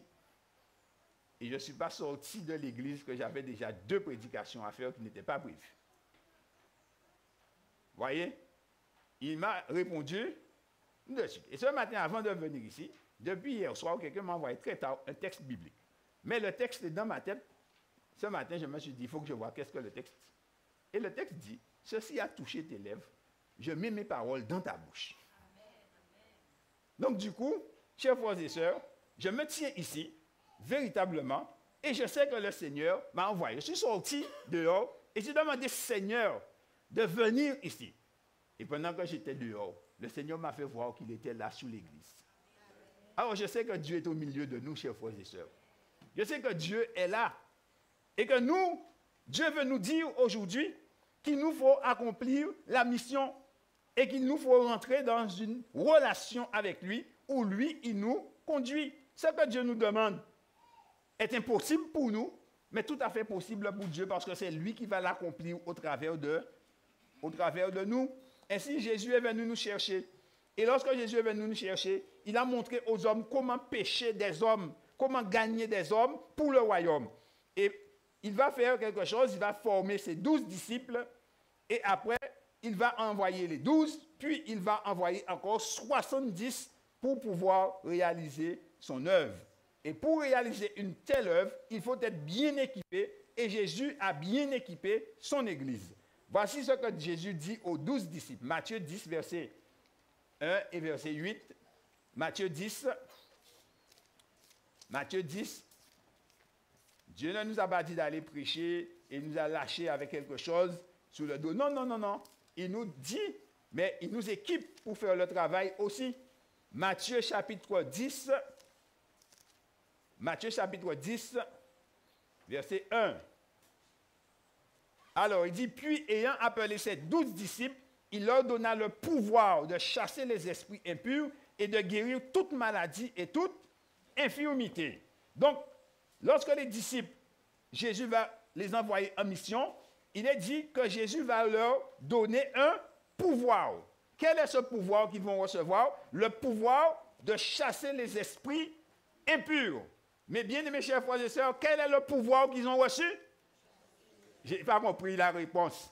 Quel est le pouvoir que vous avez reçu? Répétez ça encore, mes frères. Dieu a appelé les douze disciples qui représentent l'Église. Et donc chacun de nous. Et à chacun de nous, Dieu a donné le pouvoir de chasser les esprits impurs. Les esprits impurs seulement. Et de guérir toute maladie et toute infirmité, quelle que soit la maladie, quelle que soit l'infirmité. Est-ce que nous avons reçu ce pouvoir de Jésus? L'Église l'a reçu. Et c'est ce qui est écrit ici. Alors, verset 8. Verset 8. On va prendre verset 7 et 8. Jésus dit aux douze, allez, prêchez, et dites, le royaume des cieux est, est proche. C'est vrai ou c'est faux? C'est toujours vrai. Qu'est-ce qu'il leur dit de faire? Guérissez les, les malades. Et après, ressuscitez-les, purifiez-les, chassez-les. Vous avez reçu gratuitement donné, gratuitement. N'avez pas demandé de l'argent pour cela. C'est la mission de, de l'Église. Guérissez les malades aujourd'hui, puisque jamais il y a toutes sortes de malades. Quand un docteur ouvre un cabinet, le jour où il ouvre son cabinet, eh bien, il est déjà rempli. Il n'y a plus de place. Donc les gars font fortune maintenant. Mais Jésus dit, guérissez les malades, ressuscitez les, les morts. Ah, mes frères, nous devons faire travailler la foi. Jésus dit, ressuscitez les morts. Ce n'est pas les morts spirituels, les morts spirituels. Les morts spirituels, tu es ressuscité quand tu acceptes Jésus-Christ parce que tu étais mort dans tes péchés. Mais là, il s'agit de mort physique. Ça veut dire que là, nous avons un peu funèbre là, eh bien, Dieu peut dire nous, prier pour moi là, ça, et il a levé. C'est écrit là, hein, mes frères. C'est pas frère son Jean hein, qui a mis ça dans la Bible. C'est écrit. Donc nous devons faire travailler la foi, nous devons faire monter la foi, chers frères et sœurs. Si nous ne sommes pas à niveau, nous devons reconnaître que nous ne sommes pas à niveau et aller chercher le niveau. Mais nous ne devons pas rabaisser la chose et faire croire que Dieu ne fait plus ça. Ah non, c'était pour les temps anciens. Ah, ce sont les morts spirituelles. Qui a fait mort spirituelle? Mort spirituelle et mort physique. C'est ça qui est écrit là, mes frères. C'est écrit noir sur blanc. Ressusciter les morts, purifier les lépreux, chasser les démons. C'est ça qui est écrit dans la parole de Dieu. Il dit, vous avez reçu gratuitement, donné gratuitement. Chers frères et sœurs, il y a des gens qui acceptent tout. Personnellement, je n'accepte pas. C'est peut-être... Je ne l'accepte pas en fait, tout bonnement. Je ne peux pas accepter que tous les frères sont malades et que tous les frères meurent. Ce n'est pas normal. Je ne peux pas accepter, chers frères et sœurs, qu'à chaque fois que nous prions, eh bien, c'est un échec et que nous ajoutons, si c'est la volonté de Dieu, quelle est la volonté de Dieu? Guérissez les malades. Quelle est la volonté de Dieu? Ressusciter les morts. Quelle est la volonté de Dieu? Chasser les démons. C'est ce que Jésus leur dit de faire. Hein. C'est la même église qui est là. C'est la même église. Ils ont un message et ils reçoivent aussi un pouvoir. Un pouvoir. Et quel est le résultat, chers frères et sœurs? Marc chapitre 6, versets 12 à 13. Peut-être que Jésus a dit ça. Et est-ce que ça s'est passé comme ça? Marc 6, versets 12 à 13.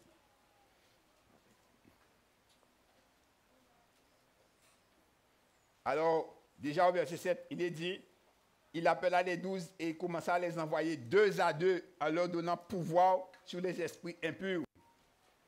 Et il dit, ils partirent, verset 12, et ils prêchèrent la repentance. Dieu ne sauve personne dans ses péchés. Dieu sauve les gens du péché. Aujourd'hui, il y a des messages où les gens sont confortés dans le péché. Non, non, non, mes frères, ça c'est une mauvaise voie. Dieu te sauve du péché. Dieu ne te sauve pas dans ton péché. Dieu ne te bénit pas dans ton péché. Dieu te retire du péché. Et là, il te bénit. C'est ça le chemin, le vrai chemin. Et il dit, il chassait beaucoup de démons et il oignait d'huile beaucoup de malades et les guérissait. Résultat de ce que Jésus leur a dit. De ce que Jésus leur a dit pour les douze. Ainsi, chers frères et sœurs, Dieu n'a pas menti. Parce que l'apôtre Paul clarifie la chose dans 2 Corinthiens chapitre 10 et versets 3 et 5. Et il fait cette déclaration. 2 Corinthiens chapitre 10, un texte que nous connaissons aussi, c'est un texte que nous connaissons. 2 Corinthiens chapitre 3, chapitre 10, verset 3 à 5. Paul déclare ceci. Il dit, si nous marchons dans la chair, c'est-à-dire comme nous sommes là, là, nous ne combattons pas selon la chair. Attention, nous marchons selon la chair, nous, sommes, marchons dans la chair, mais nous ne combattons pas selon la chair. Car les armes avec lesquelles nous combattons ne sont pas charnelles. Nous n'avons pas de fusil, nous n'avons pas de couteau, nous n'avons pas de sable, nous n'avons pas de kalachnikov. Ce n'est pas ça que nous avons. Il dit, mais elles sont puissantes par contre, par la vertu de Dieu pour renverser des, forteresses. Quelles forteresses? Il dit, nous renversons les raisonnements et toute hauteur qui s'élève contre la connaissance de Dieu et nous amenons toute pensée à l'obéissance de Christ. Nous renversons, nous renversons les raisonnements, d'accord, qui s'élèvent contre, et toute hauteur qui s'élève contre la connaissance de Dieu. Il y a beaucoup de raisonnements. Et même dans l'Église aujourd'hui, il y a beaucoup de philosophes, beaucoup de raisonnements. Mais il n'y a pas de puissance. Or, l'évangile n'est pas une affaire de parole, mais une affaire de puissance. Et c'est ce que l'apôtre Paul dit. Beaucoup de paroles, mais pas de puissance. Or, Dieu dit, vous recevrez une puissance. Si nous ne l'avons pas, nous devons le réclamer, nous devons le chercher, parce que Dieu ne ment pas. Dieu ne ment pas. Ainsi, bien aimés chers frères et sœurs, ceux qui qui répondent à l'appel de Jésus, eh bien, ils sont équipés pour accomplir le travail de Jésus-Christ. Et lorsque Jésus va envoyer les 70 après les 12, Luc chapitre 10, versets 1 et 2, peut-être qu'avec ce groupe-là, ce sera peut-être différent. Luc chapitre 10, versets 1 et 2. Luc chapitre 10, versets 1 et 2. Si moi vous dire quelque chose,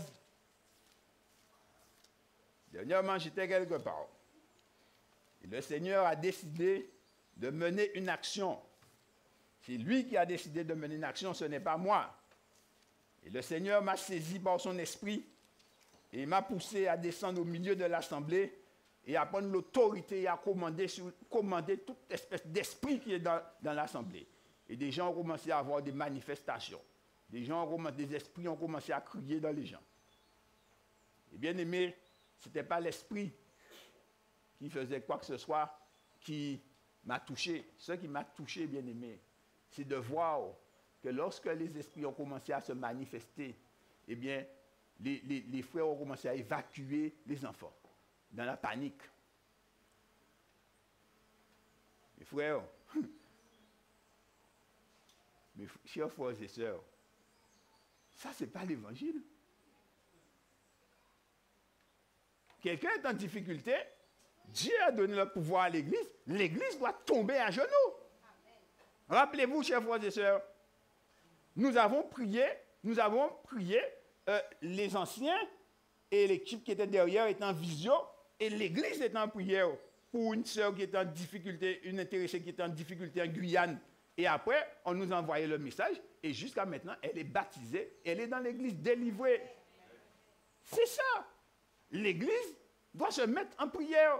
Alors si un esprit se lève dans l'assemblée là, alors les gens commencent à courir. Non, mettez Bitéa en règle. Tu dois t'organiser.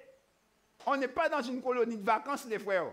On est dans l'église de Dieu. Et quand on vient ici, Dieu est présent. Et quand Dieu est présent, tu ne sais pas qu'est-ce que Dieu va faire aujourd'hui. Tu ne le sais pas. Moi, quand je viens à l'église, que ce soit dimanche, mercredi, je ne viens pas à l'église tout bonnement. Hein? Parce que moi, je ne sais pas sur quoi je vais tomber. Pendant que je suis en train de prêcher là, eh bien, les gens dans le quartier qui sont en détresse emmènent quelqu'un qui est possédé là. Je vais leur dire ah, mais on ne va pas prier. Et pendant que je parle avec eux, des gens commencent à sortir par derrière. Mes frères, ça ne doit pas se faire. L'église de Dieu ne doit pas être comme ça. Nous devons rester debout par la grâce de Dieu. Nous devons au contraire présenter à Dieu la personne.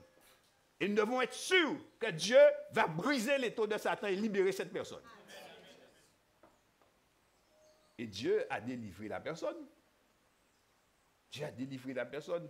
L'Église, les enfants de l'Église doivent savoir que si Satan vient, eh bien qu'en Jésus-Christ, ils ont une forteresse. Les jeunes de l'Église doivent savoir que si Satan vient, en Jésus-Christ, ils ont une forteresse. Il n'y a pas histoire de gens qui sautent par la fenêtre pour essayer d'échapper. Où est-ce que tu vas aller? C'est un esprit. Luc chapitre 10, verset 1 et 2. Il dit, après cela, le Seigneur désigna encore 70 autres disciples et il les envoya deux à deux devant lui dans toutes les villes et dans tous les lieux où lui-même devait aller. Donc toujours deux à deux.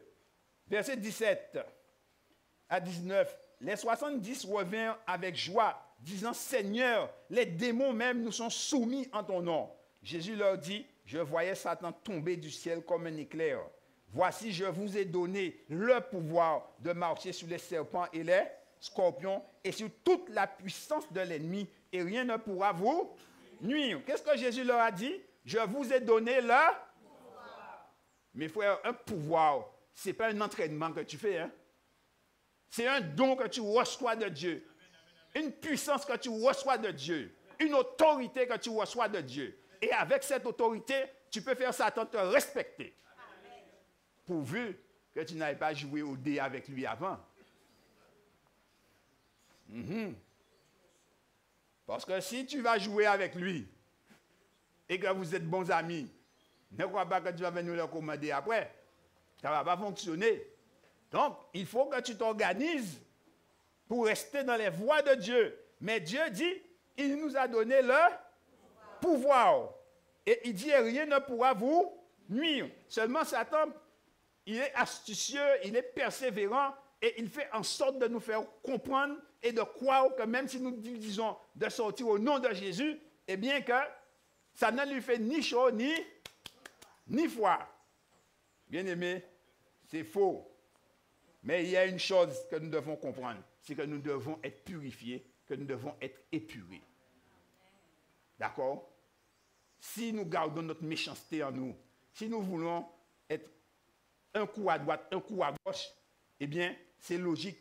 Cela nous affaiblit. Nous avons une faiblesse en nous. Le rouage ne fonctionne pas comme il faut. D'accord? Ça ne fonctionne pas comme il faut. Mais si nous nous maintenons dans la vie de Dieu, dans la vie de Christ, alors l'Esprit de Dieu va nous guider. Parce que vous voyez, chers frères et sœurs, pour accomplir l'œuvre de Dieu, nous devons être conscients qu'en face de nous, ce ne sont pas des hommes que nous affrontons. L'homme, il est fait de chair et de, sang, mais il y a un esprit qui travaille dans le monde et appelé l'esprit de la rébellion. C'est lui qui endurcit les cœurs, c'est lui qui aveugle les gens, c'est lui qui séduit toute la terre pour emmener les hommes à la désobéissance et finalement à la perdition éternelle. Et si nous ne sommes pas conscients de cela, alors, chers amis, nous ne pouvons pas faire le travail comme Jésus l'attend, parce que nous allons toujours penser que nous pouvons nous octroyer certains droits, et le malin, il va tirer avantage de cela. Mais Dieu nous a avertis. Et c'est pourquoi il dit, ce n'est pas, nous n'avons pas à lutter contre la chair et le sang, mais contre les dominations, contre les autorités, contre les princes de ce monde de ténèbres, contre les esprits méchants dans les lieux célestes. Et il nous est dit de prendre toutes les armes de Dieu, de ne rien laisser. La consécration du disciple de Jésus doit être totale. Et c'est pourquoi il est essentiel qu'il ne fasse pas sa volonté, mais la volonté de Dieu. Tu dois faire la volonté de, Dieu. Et bien souvent, c'est là que le bas blesse. Mhm. Ainsi, chers frères et sœurs, après le départ du Seigneur, le Saint-Esprit va prendre le relais, il va prendre la direction des opérations. Et Jésus dit aux disciples, vous recevrez une puissance, le Saint-Esprit souvenant sur vous, et vous serez mes témoins jusqu'au bout de la terre. C'est le Saint-Esprit qui va conduire l'Église à la, à la victoire. Et lorsque les disciples ont reçu le Saint-Esprit, ils ont prêché le message. Et voyez le témoignage des gens de l'époque dans Acte 17 et le verset 6. Acte 17, verset 6. Acte 17 et le verset 6.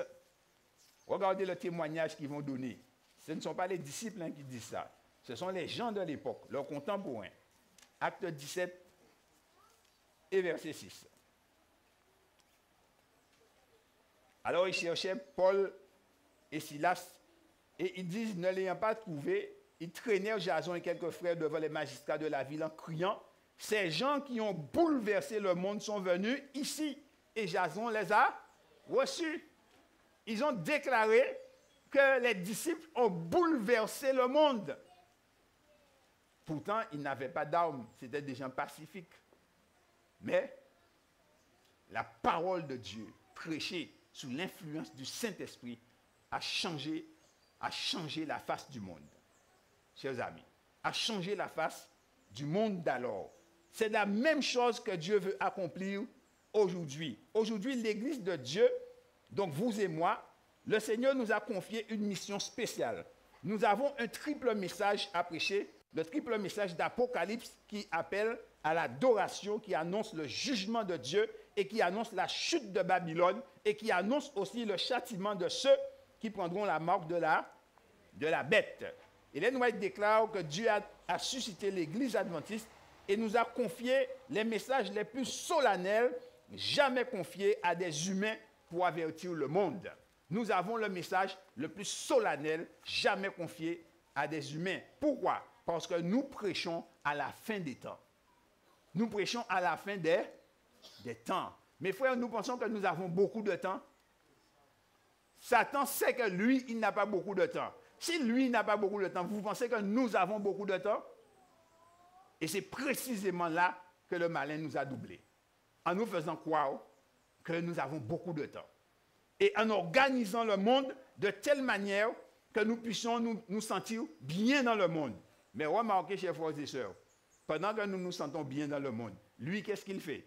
Il s'organise pour détruire le plus de vie possible. Guerre, bruit de guerre, peste, famine. Vous avez vu? Tout ce qui se passe. Et au fur et à mesure maintenant, eh bien, les hommes ne savent que faire au bruit de la mer et des, flots. Il n'y a pas un politicien dans le monde qui ait un remède pour la situation aujourd'hui. On parle, on tourne, on retourne, mais on n'a pas de solution. La solution, c'est Christ. La solution, c'est Christ. Il nous a équipés du Saint-Esprit et même du Saint-Esprit plus, plus. Pourquoi? Parce que dans Abraham 18 et le verset 1er, il est dit ceci.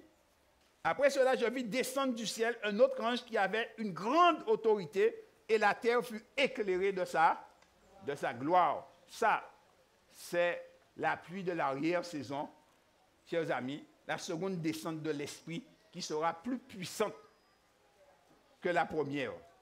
Et c'est sur nous que Dieu veut déverser son Saint-Esprit dans cette dimension. La pluie de l'arrière-saison, la pluie de la première saison, celle des disciples a été puissante, mais celle de l'arrière-saison sera encore plus puissante. L'homme n'a jamais vu une telle puissance. Et Dieu veut déverser cela sur nous. C'est à nous de le réclamer et de le recevoir avec foi. Dès maintenant, nous pouvons le recevoir. Ainsi, chers frères et sœurs, Dieu nous appelle à prêcher le message. Et pour prêcher le message, eh bien, nous avons besoin de nous tenir auprès de Dieu, de nous tenir auprès de Christ. Dès demain, ici dans cette église, nous allons commencer à prêcher le message. C'est midi qui prêchera, mais nous serons tous présents. Nous ne devons pas rester dans nos maisons. Nous ne devons pas rester oisifs. Nous devons inviter des amis et surtout prier pour que le Seigneur ouvre une porte pour que ces personnes puissent voir la vérité et qu'ils puissent faire un choix éclairé. Le message, c'est ça le travail.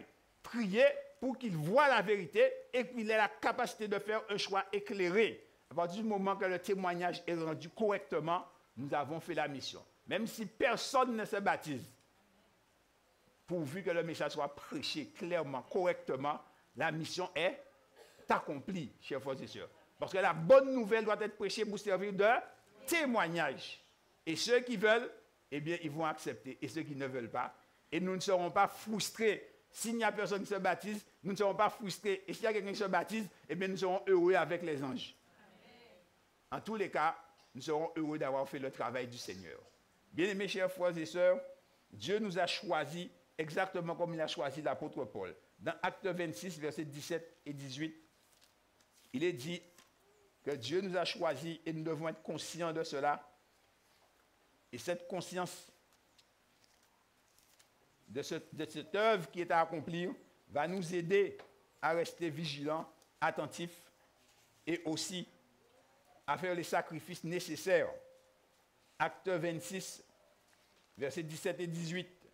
Il est dit ceci, je t'ai choisi du milieu de ce peuple, du milieu des païens vers qui je t'envoie, afin que tu leur ouvres les yeux pour qu'ils passent des ténèbres à la lumière et de la puissance de Satan à Dieu, pour qu'ils reçoivent par la foi en moi le pardon des péchés et l'héritage avec les sanctifiés. Ainsi Dieu nous envoie, chers amis, pour, par la parole de vérité, pour ouvrir les yeux des aveugles, pour leur faire voir la lumière de Dieu, la beauté de la sainteté, et pour qu'ils passent des ténèbres à la lumière et de la puissance de Satan à la puissance de, à la puissance de Dieu. Chers amis, il n'y a aucune œuvre qui égale cela sur la terre. C'est pourquoi Jésus nous a dit, allez, faites de toutes les nations des disciples, les baptisant au nom du Père, du Fils et du, et du Saint-Esprit.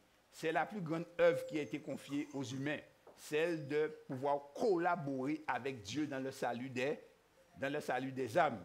Cela va nous demander certainement des sacrifices. Cela va nous demander du temps. Cela va nous demander aussi des moyens. Mais Dieu est celui qui pourvoit à tous nos besoins.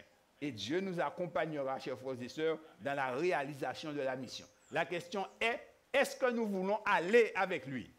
Est-ce que nous voulons rentrer dans ce programme? C'est ça la question. Alors, est-ce que nous voulons y rentrer, chers frères et sœurs? Je n'ai pas compris la réponse, mes frères. Alors, laisse-moi voir la main de ceux qui veulent du Seigneur. À partir d'aujourd'hui, je veux œuvrer avec toi, je veux travailler avec toi. Eh bien, gloire soit à Dieu. Gloire soit à, soit à Dieu. Maintenant, chaque fois que l'évangile est prêché, eh bien, Dieu dit, il faut donner aux gens l'occasion d'accepter Jésus-Christ. Dans cette assemblée, est-ce qu'il y a quelqu'un qui voudrait dire, Seigneur, moi, je veux t'accepter? Quelqu'un qui n'a pas encore accepté Jésus dans sa vie. Amen. Il y a un jeune qui lève. Est-ce qu'il y a quelqu'un qui voudrait dire cela?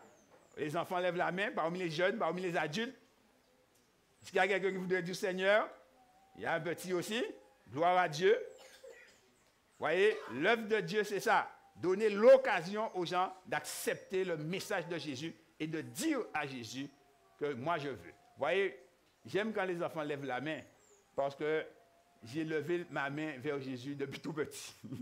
et jusqu'à maintenant, je continue. Alors, chers jeunes enfants qui avaient levé la main, croyez que Jésus a vu votre main et qu'il a pris cela en compte et que par sa grâce, il va vous conduire et au moment voulu, il vous dira ce qu'il faut faire.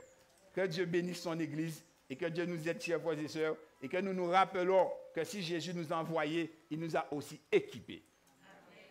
Que Dieu bénisse son peuple. Amen.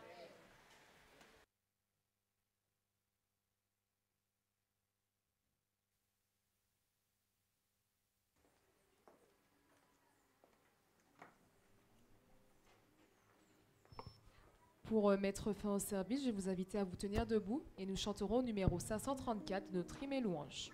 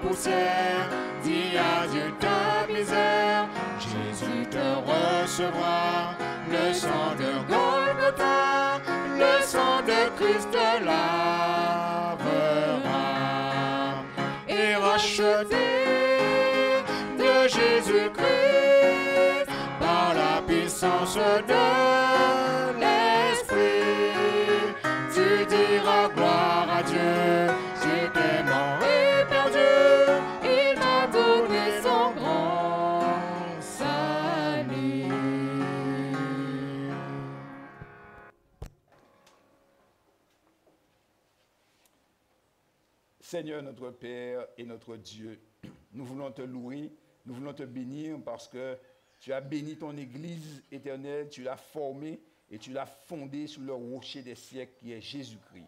Et Seigneur, tu nous as dit que les portes du séjour des morts ne prévaudront pas contre ton Église et quel que soit, Seigneur, ce que l'ennemi peut faire, tu es déjà vainqueur Et Seigneur, tu vaincras pour le temps et pour l'éternité, parce que c'est toi qui es Dieu et c'est toi qui es le maître de toutes choses. Éternel, notre Dieu et notre Père, notre Père, nous sommes ton peuple, nous sommes tes enfants, Seigneur. Seigneur, nous avons des défauts, nous avons, Éternel, erré loin de toi, nous avons des fois fait des choses qui ne correspondent en rien à ta volonté. Nous menons notre barque certaines fois comme nous voulons, notre bouche profère des malédictions, Seigneur. Nous mentons, Éternel, nous sommes faux, mais Seigneur, Éternel, tu ne nous as pas rejetés. Et tu as dit, si mon peuple, sur qui est invoqué mon nom, s'humilie, prie, s'il cherche ma face, s'il se détourne de ses mauvaises voies, alors je le guérirai, j'exaucerai, je l'exaucerai du haut des cieux. Ce matin, Père éternel, puisque tu es venu, puisque Seigneur éternel, tu m'as envoyé, alors Seigneur, je lève mes mains vers les cieux, je t'invoque, éternel Dieu d'Abraham, d'Isaac et de Jacob, toi le Dieu tout-puissant. Je t'invoque dans cette assemblée, dans le nom de notre Seigneur Jésus-Christ. Et je te prie, Seigneur, de laver nos péchés, de pardonner l'iniquité de tes enfants, de retirer, Seigneur mon Dieu, le péché qui est sur nous, le voile qui nous empêche de te voir, Seigneur, de retirer, Seigneur mon Dieu, tout ce qui n'est pas de toi. Brise la méchanceté dans le puissant nom de Jésus, Père. Je prie au nom de Jésus-Christ, Père, que tu libères tes enfants dans le puissant nom de Jésus, que tu passes dans cette assemblée et que tu guérisses tes enfants, car tu es le Dieu qui guérit. N'est-ce pas toi qui as dit, je vous ai donné le pouvoir de guérir alors, Seigneur, par ton esprit, que tes sept esprits passent dans cette assemblée et que tu guérisses, Seigneur, ceux qui sont malades, ceux qui souffrent, ceux qui sont sous le live éternel, ceux qui sont atteints de diverses affections, ceux qui sont près de la mort et même les morts, puisque tu as dit, Seigneur, ressusciter les morts. Alors, Seigneur mon Dieu, que ta parole de vérité pénètre dans les oreilles éternelles de ceux que tu veux réveiller et qu'il y ait des prodiges et des miracles, car tu es le grand Dieu de l'univers. Éternel, notre Père et notre Dieu, nous venons à toi et nous te demandons, Seigneur, de déverser ton esprit sur ton assemblée, de réveiller l'Église éternelle, de secouer les chaînes qui nous lient dans le puissant nom de Jésus Père, de briser, éternel mon Dieu, tout ce qui nous attache, éternel. Oh, manifeste ta force toute puissante, éternelle, car tu es Dieu, que tes sept esprits parcourent cette assemblée, l'esprit de vérité, l'esprit de sagesse et d'intelligence, l'esprit de conseil et de force, l'esprit de connaissance et de crainte de l'éternel. Manifeste-toi, Père, au milieu de ton peuple et délivre tes enfants qui crient à toi. Et permets qu'au nom de Jésus, Père, que tout le secteur soit nettoyé dans le nom de Jésus et que tu enlèves, Seigneur, cette assemblée, autour de cette assemblée, tout ce qui n'est pas de toi. Dans ce quartier, Seigneur éternel, tout ce qui n'est pas de toi. Que ceux éternels qui font le mal, Seigneur,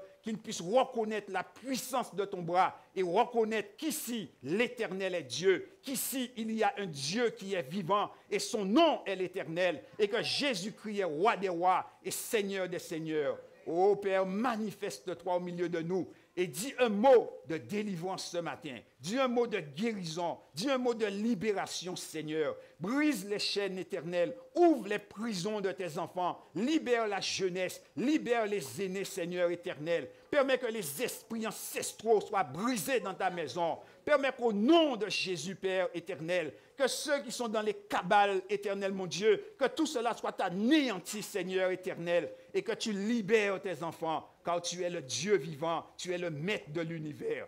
Ô éternel des armées, nous crions à toi parce que tu es vivant, tu es le maître de l'univers. Étends ton bras et bénis ton peuple, Seigneur. Tourne ta face vers ton peuple. Fais lui ta face sur ton peuple et renvoie-le avec ta paix et ta bénédiction. Seigneur, je veux te prier, Père éternel, afin que tu étendes ton bras. Car dans cette assemblée, Seigneur, il y a des gens qui sont tristes, éternel, mon Dieu, à cause de leurs finances, à cause de leurs enfants, tristes à cause de stérilité, tristes, éternel, mon Dieu, parce qu'on leur a découvert quelque chose éternel ou qu'ils ont découvert quelque chose qui ne va pas. Mais ce matin, tu es le Dieu qui libère. Visite-les et délivre-les dans le nom de Jésus. Papa, je prie afin qu'au nom de Jésus, puisqu'aujourd'hui c'est un jour de bénédiction, donne des enfants à ceux qui n'en ont pas, Seigneur. Fais que, Seigneur, ceux qui sont stériles deviennent fertiles dans le puissant nom de Jésus.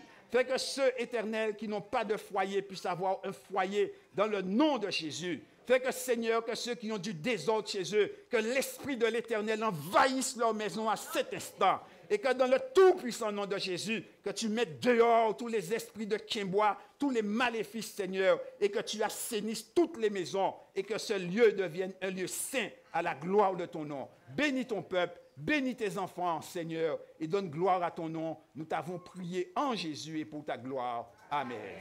Amen. Amen.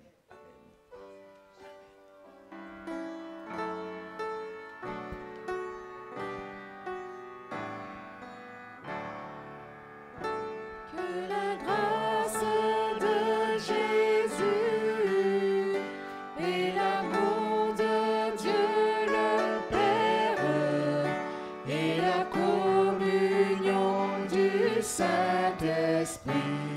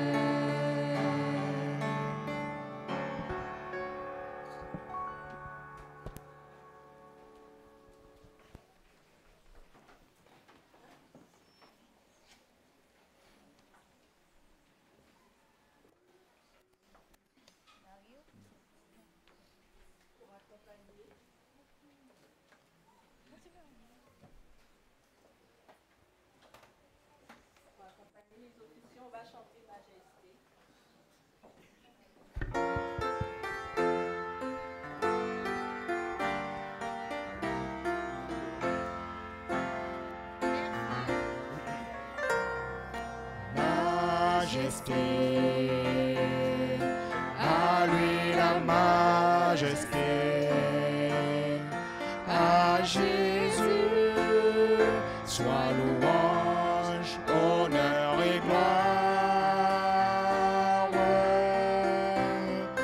Majesté, suprême autorité,